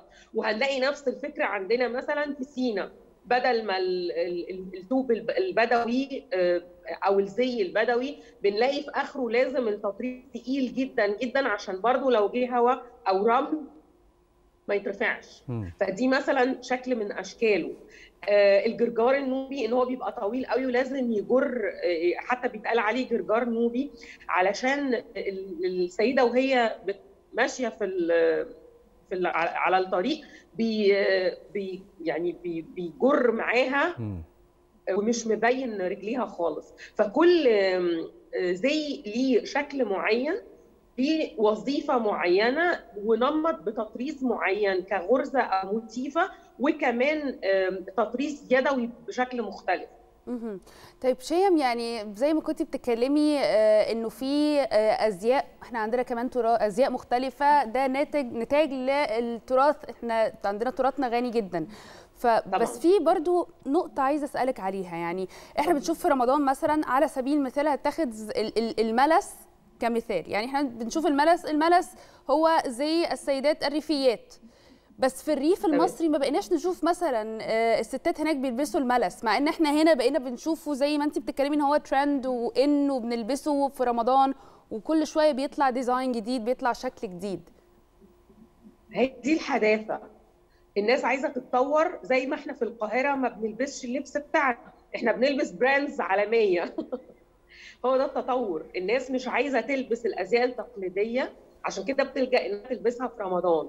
إنما في اليوم الطبيعي بتاعها بنسعى وراء الحداثة عايزين شيء جديد.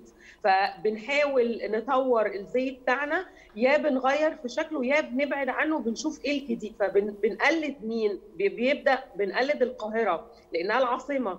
العاصمة بيلبسوا إيه؟ بيبدأوا بيلبسوا بيبعدوا عن الزي التقليدي وبيبدأوا بيلبسوا لبس مختلف. فمن هنا بدأ كل يعني محافظة من المحافظات خلاص في تطور آه، وحداثة إن أنا مش عايزة ألبس الزي التقليدي بتاعي وعايزة ألبس الجديد. ومش بس في مصر هتلاقي في دول كتير.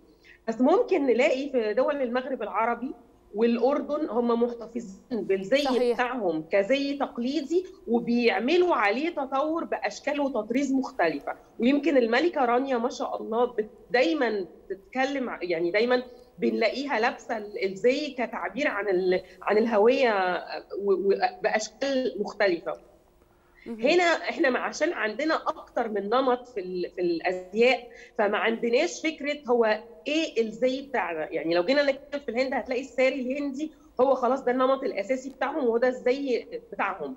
طب إحنا عندنا في مصر لا إحنا عندنا حاجات كتير قوي. طب إحنا نطور إيه فيهم؟ فاللي بيحصل إن إحنا بنعمل بنقدم الأزياء التراثية بشكل عصري علشان نبدأ آه، نلبسها بشكل بسيط.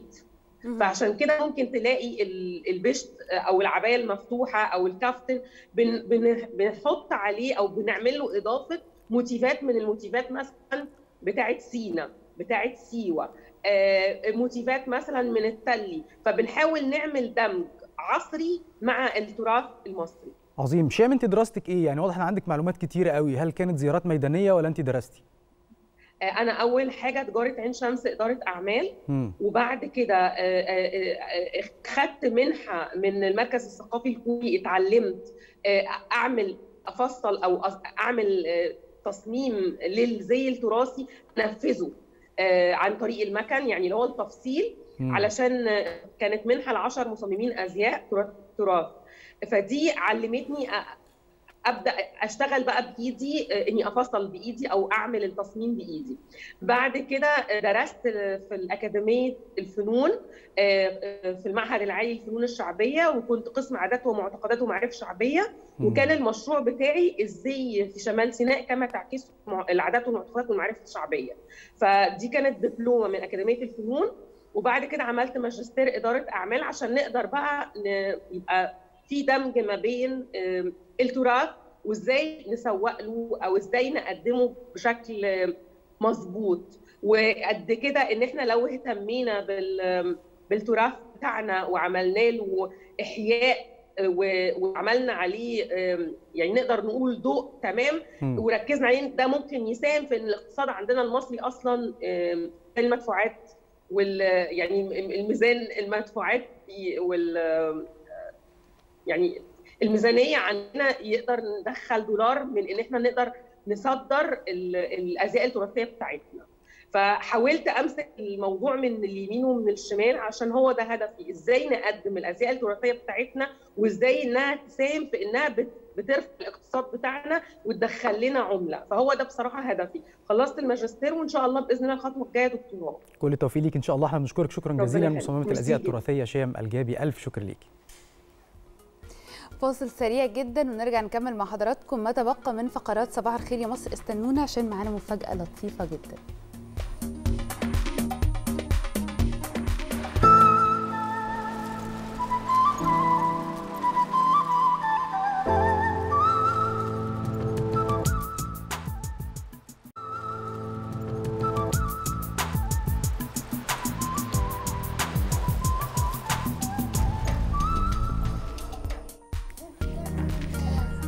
بنرحب بحضراتكم مرة تانية والحقيقة إنه يعني دراما رمضان السنة دي كانت غنية جدا وكشفت لنا عن مجموعة من الأطفال الموهوبين اللي قدروا إن هم يسرقوا الكاميرات من النجوم أثناء المشاهد اللي شاركوا فيها.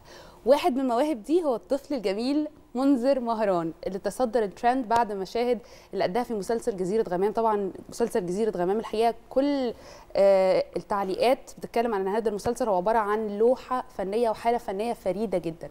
منذر ظهر باسم سمير ابن الشيخ محارب أو ثمير زي ما هو كان بيقولها وقدر يقدم دور استثنائي يعني كان دوره بالفعل أدى دوره بمنتهى الاحترافية. خلينا نرحب بمنذر النهارده. النهارده في صباح الخير يا مصر. ونتكلم معاه بقى ونعرف منه حاجات كتير جدا صح؟ صح. صباح الخير. صح النور. عامل إيه؟ الحمد لله. لبس العيد ده؟ آه ماشي يا عم. شايف شفت؟ ورينا الشياكة. بقى كده لبس العيد ده. ورينا كده. لا شياكة. لا شياكة خالص وساعة وحاجات. الساعة كام يا منذر؟ مش بعرف الساعات دي آه والله. لزوم الشياكة يعني. ما بعرف. الساعات اللي تقع حيطة. آه آه دي لزوم الشياكة يعني. آه طب لا استنى منذر بقى قبل ما, ما نبدأ الأسئلة بتاعتنا أنا عايزة بقى آه، سمير لما كان بيتكلم أنا أجمل حاجة في الدنيا. أنا أجمل حاجة في الدنيا. أنا أغنى حاجة في الدنيا. أنا أهم حاجة في الدنيا. ده أنت أحلى أنت حاجة في سكر يا الدنيا سمير. والله. أنت جميل أنت سكر. يا جماعة قبل الهوا كان بيكتشف شخصياتنا أنا وجمانة فجمانه بتسأله شاذلي ينفع ممثل؟ فبص لي كده قال لي انت تنفع ممثل وانت تنفعي مذيعه يعني لا كان بيقيمنا. ما تحاولش طيب قول لي يا منذر بقى يعني نتكلم معاك شوية كده عن موضوع المسلسل بقى. انت أصلا نجم كبير وفنان وليك أعمال كتير جدا. فكلمني بقى عن دورك في جزيرة غمام سمير ابن الشيخ محارب دوري حلو أصلا. دورك قمر. بس انت قول لي إزاي حفظت بقى دورك؟ إزاي كنت بتروح الاستوديو عشان تحفظ وتروح تجهز نفسك؟ كان مفيش استديوهات. في في الموقع اللي بتصوروا فيه. مش كان عندك عندك مشاهد بتروح تأديها؟ صح؟ يعني المشهد اللي كنا بنقول أنا أنا أحلى حاجة في الدنيا. لا location كده. ال location أيوة. حلو. location آه. الكواليس. أيوه. كانوا بقى عمالين يبنوا يبنوا. تعالى في الكواليس بقى. حتة فاضية خالص. آه. وعمالين بقى يبنوا بقى ساعتها خالص. انت رحت تتفرج اتفرجت عليهم وهم بيبنوا لسه؟ لا لا لا لا. امال إيه؟ ساعتها بقى لسه هيكلموني كان لسه بدري. لسه لسه كانوا بي بيقنعوك؟ آه. لسه كانوا بيحاولوا يقنعوك ان انت تعمل الدور. فخدوك عشان تروح تشوف المكان وتشوف ال location. صح ده كده؟ هو أحمد موسى هو اللي اختار آه. طيب قول لي بقى كنت بتحفظ إزاي وأنا بتكلم معاه قبل الهوا؟ بقول له يا منذر هنتكلم مع بعض وهو هنسال أسئلة. رد عليا رد في من- بمنتهى الثقة. قال لي أنا ما بعملش بروفات أصلا. صح؟ مش أنت قلت لي كده؟ action. كلاكيت action. يا جماعة؟ مكسب لكل المخرجين. مش هيعيد كتير يا جماعة ومش هيتعبكم ومش هيعمل بروفات. الراجل هيدخل يشوط على طول. أقول لك أنا بحفظ إزاي؟ آه. كده الورقه زي الناس. أيوه كده. آه إيه أنا مش عشان سلمية أنا احسن واحد في الدنيا ولما احفظ أحط الورقة على المراية بقى. آه. أشوف بقى اكشنات وشي و- و- وأنا بتكلم إزاي؟ بتعمل كده. إزاي بقى؟ ولما أخلص خالص أروح ألعب كورة. طيب وأنت بتتكلم بقى عن رياكشنات وشك. إيه، لما بتبقى زعلان وشك بيعمل إزاي؟ طب ولما تبقى مبسوط؟ طب لما مثلا بتبقى حد بيقول حاجة مش عاجباك مش موافق عليها. لو متعصب. ده يوم يضربني. لا لا خطير. طيب منذر قول لي بقى. انت عملت مثلت مع محمد رمضان في مسلسل موسى صح؟ ومثلت في جزيرة غمام. وعملت كمان حاجات تانية. انت وانت قاعد كده وبتختار الدور. مش انت الناس بيقعدوا يقنعوك بالدور؟ صح؟ بيقعدوا يقنعوك بالدور صح؟ صح؟ طيب بتختاروا بقى انت انت يعني انت مثلا دورك في سمير خلينا نتكلم في سمير في دورك في سمير إيه أكتر حاجة عجبتك في سمير؟ أكتر حاجة ان سمير ده أيوه. احسن حاجة في الدنيا. انت منين يا منذر؟ من سوهاج. وعايش في سوهاج ولا عايش في آه. القاهرة؟ في في في, في القاهرة. آه. طب وبتتكلم عاوزة صعيدي أسافر. عايز تروح سوهاج؟ لا. ليه؟ شرم. مش هتعرف. عشان الشغل طب. عايز تسافر فين؟ التزامات. أنت بتقول عايز أسافر صح؟ عايز تسافر فين بقى؟ شرم. شرم. عايز عايز تروح. شرم؟ آه. آه حقه, حقه برضه راجل تعب يا جماعة عيد برضه. عندك كام سنة؟ هروح بعد أربع أيام. هتروح بعد أربع أيام؟ طب قولي بقى كانوا الممثلين طيب كانوا معاك عاملين إزاي؟ كانوا بيعملوك إزاي؟ حلو. مين أكتر واحد حبيته؟ أحمد أمين. آه طب ليه بقى أحمد أمين؟ دمه خفيف. سلام. عندك حق. عندك حق والله. أنت عندك كام سنه يا منذر؟ داخل على التم... على التمانية وعلى تالتة كده. مش باين عليك والله. طب مين اللي ساعدك إن أنت تقف قدام الكاميرا؟ انت عارف في ناس كبار ما بيعرفوش يقفوا قدام الكاميرا؟ زي مين؟ لا مش لازم زي مين بس في ناس كبار يعني. بطل موضه بقى يا منذر ما تتكلمش معايا كده وخلاص. يعني بيخاف لما يجي يقف قدام الكاميرا تلاقيه بيخاف أو ما بيعرفش يقول الكلمتين اللي هو حافظهم؟ أنا؟ في ناس لا مش بتكلم عنك. فأنا بقول لك أنت ما شاء الله عليك. أنا ناس كده. مين اللي ساعدك بقى إن أنت تقف قدام الكاميرا. أنا كده النص. أنا بحب الكاميرا. بحبها. بعرف أعمل إيه وهي كمان. بتحبك قوي. أنت عارف إن الكاميرا ممكن تحب حد؟ لا. لا الكاميرا ممكن تحب حد؟ ويطلع بشكله حلو. هي إنسان؟ لا لما تكبر شوية هتفهمها. طيب فاكر أول مرة وقفت قدام الكاميرا؟ آه كانت إمتى؟ أول مرة جزيرة غمام لا أول مرة عم- في العموم أول مرة خالص خالص مثلت لا أنا عادي عادي يعني. إيه؟ أول حاجة آه. أول حاجة حصلت خالص آه. البرنس. البرنس.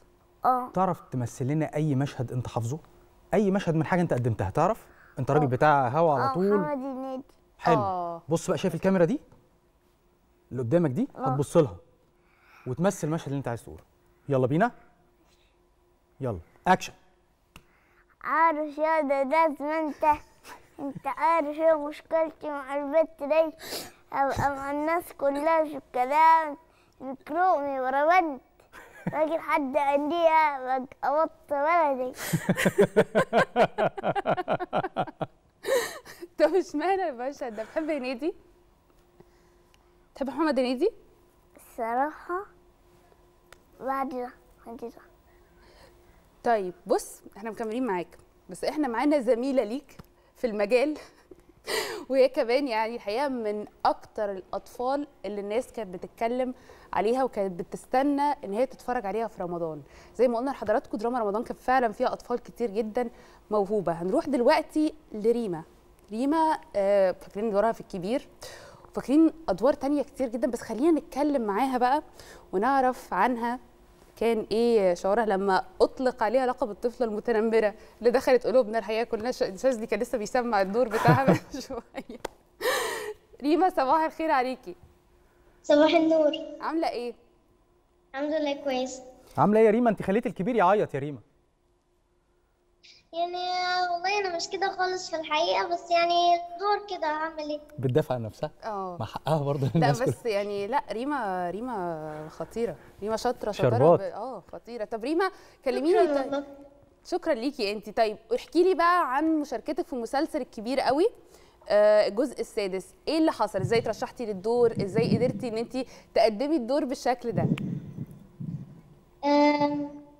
أنا ترشحت للدور من الاستاذ أحمد الجندي المخرج عشان اشتغلت معاه في موضة ام وكنت مبسوطة قوي هناك مع الأستاذ أحمد مكي. ممكن هو في سؤال تاني صح؟ ولا إيه؟ آه يعني عايزه أعرف بقى. عايزه أعرف منك لما كنتي بتروحي هناك بقى وتبتدي تمثلي دورك. إزاي كنتي بتحضري نفسك بقى عشان تمثلي الدور وتعملي المشاهد بتاعتك؟ آه عادي كنت بقعد وأحفظ المشهد. وبقى يعني أنا لازم أفهم المشهد عشان أعرف امثله وبس وبفهمه. وأشوف ممكن يتعمل بطريقة إزاي واعمل كانوا بيهزروا معاكي في الكواليس يا ريما ولا كانوا خايفين منك؟ لا لا كانوا بيهزروا. كانت الدنيا لذيذة أصلا هناك. طب قولي لي يا ريما أنت بقى صحابك بابا وماما قالوا لك إيه بعد مشاركتك آه، في الدور اللي عملتيه في الكبير قوي؟ لأن المسلسل نجح جدا جدا جدا. آه، كانوا مبسوطين مني قوي وكل اصحابي قعدوا يقولوا لي مبروك وقعدوا يسقفوا لي وكلموني وكده يعني. ريما انت من أسرة فنية. من أسرة فنية. فاكتشف آه اكتشفوا موهبتك إزاي باباكي ومامتك؟ آه، أنا بابايا كان ممثل مسرح مم. بس مش مش بيطلع في التلفزيون يعني. مم. وهو كان يعني كان بالنسبة لنا كلنا ممثل شاطر حلو قوي فأنا لما كنت مثلا بشوفه بيمثل على المسرح وأنا صغيرة كنت لما برجع باخد صحابي ونقعد نحاول نعمل أي حاجة فيها تمثيل. امم فهو شاف إن أنا بحب كده و- وطلبت في, في اللي هو حاجة بتاعت كنيسة وحاجات كده مع الأستاذ آه، تامر حسني آه، تامر محسن. مم. أيوه. آم، آه، المخرج. كملي يا ريما طلبني طلبني في حاجة. مم. فعملتها معاه. آه، هو قال لمامتي إن أنا لازم أكمل تمثيل ولازم أمثل كده بس طيب ريما آه، فاكرة كواليس بقى آه، مسلسل الكبير؟ فاكرة أي مواقف بينك وبين أحمد مكي بينك وبين أي حد من الممثلين اللي شاركوا في المسلسل؟ موقف تحكيه لنا؟ آه، انت شكلك شقية كمان. أنا؟ يعني فاكرة أي حاجة؟ مقلب عملتيه كده حاجة لا عملتيها أنا كده؟ أنا أصلا أنا بخلص المشهد بقعد ساكته يا يا بروح اقعد جنب مامتي. طب لا دي مفاجأة لينا كلنا على فكرة. إحنا كلنا كنا فاكرينك ان انت بقى شقية وبتعملي مقالب وحاجات كده. عملتي إيه في العتره لا يا. ريما؟ نعم؟ عملتي إيه في العتره اتريقت عليه بس والله يعني آه، اتريقت عليه عادي. كده؟ ده راجل كان كل يوم يروح لباباه يعيط. منك. لا والله أنا مش كده خالص. لا بس فحقيقه ريما والله انت فعلا باين إن انت مش كده خالص وباين إن انت كمان هادية. يعني مش زي ما إحنا كنا متوقعين ولا شفتي المسلسلات هم اللي حاصرينك في أدوار الشر. بجد والله طب الحمد لله. طيب. ريما عايزة تعملي إيه في الفترة اللي جاية؟ نفسك تعملي إيه؟ نفسي أكمل تمثيل وأبقى شاطر كده. يا رب دايما إحنا مبسوطين بيكي قوي بس يا ريما. يعني لما أكبر هقرر برضه. بس لما إيه؟ لما أكبر هقرر يعني ما اخدش قرار من دلوقتي. طيب نفسك تمثلي قدام مين في الفترة اللي جاية؟ في ناس كتير. قولي لنا اتنين. الاستاذ تامر حسني؟ أها طبعا. والأستاذ أكرم حسني كنت بس يعني ما حصلش نصيب فنفسي. لا إن شاء الله هتحصل وإن شاء الله كمان تامر حسني. وأكرم. حسني لا هم اللي هيتخانقوا عليكي هم هيخطفوكي. ريما نورتينا وإحنا مبسوطين بيكي قوي قوي قوي وألف مبروك على نجاحك في المسلسلات الحقيقة كلها مش بس مسلسل كبير قوي كل سنة وانت طيبة. حضرتك طيبة. شكرا ليك يا ريما. ونرجع مرة تانية لثمير. يا ثمير. بص لنا هنا طيب. لا خليك معانا بقى. انت رغيف وأنا رغيف كان صعب؟ المشهد بتاع انت رغيف وأنا رغيف؟ جدا. بجد. إيه اللي حصل فيه. إيه اللي حصل فيه؟ كان صعب. إزاي؟ جه فجأة والله؟ عارف لو انت في تصوير كده آه.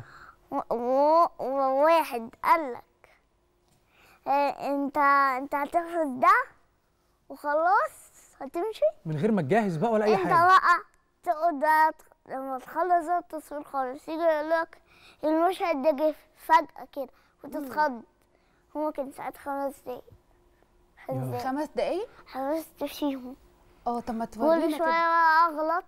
مم. و- ونصحح تاني. عشان مش مجهز نفسك طبعا.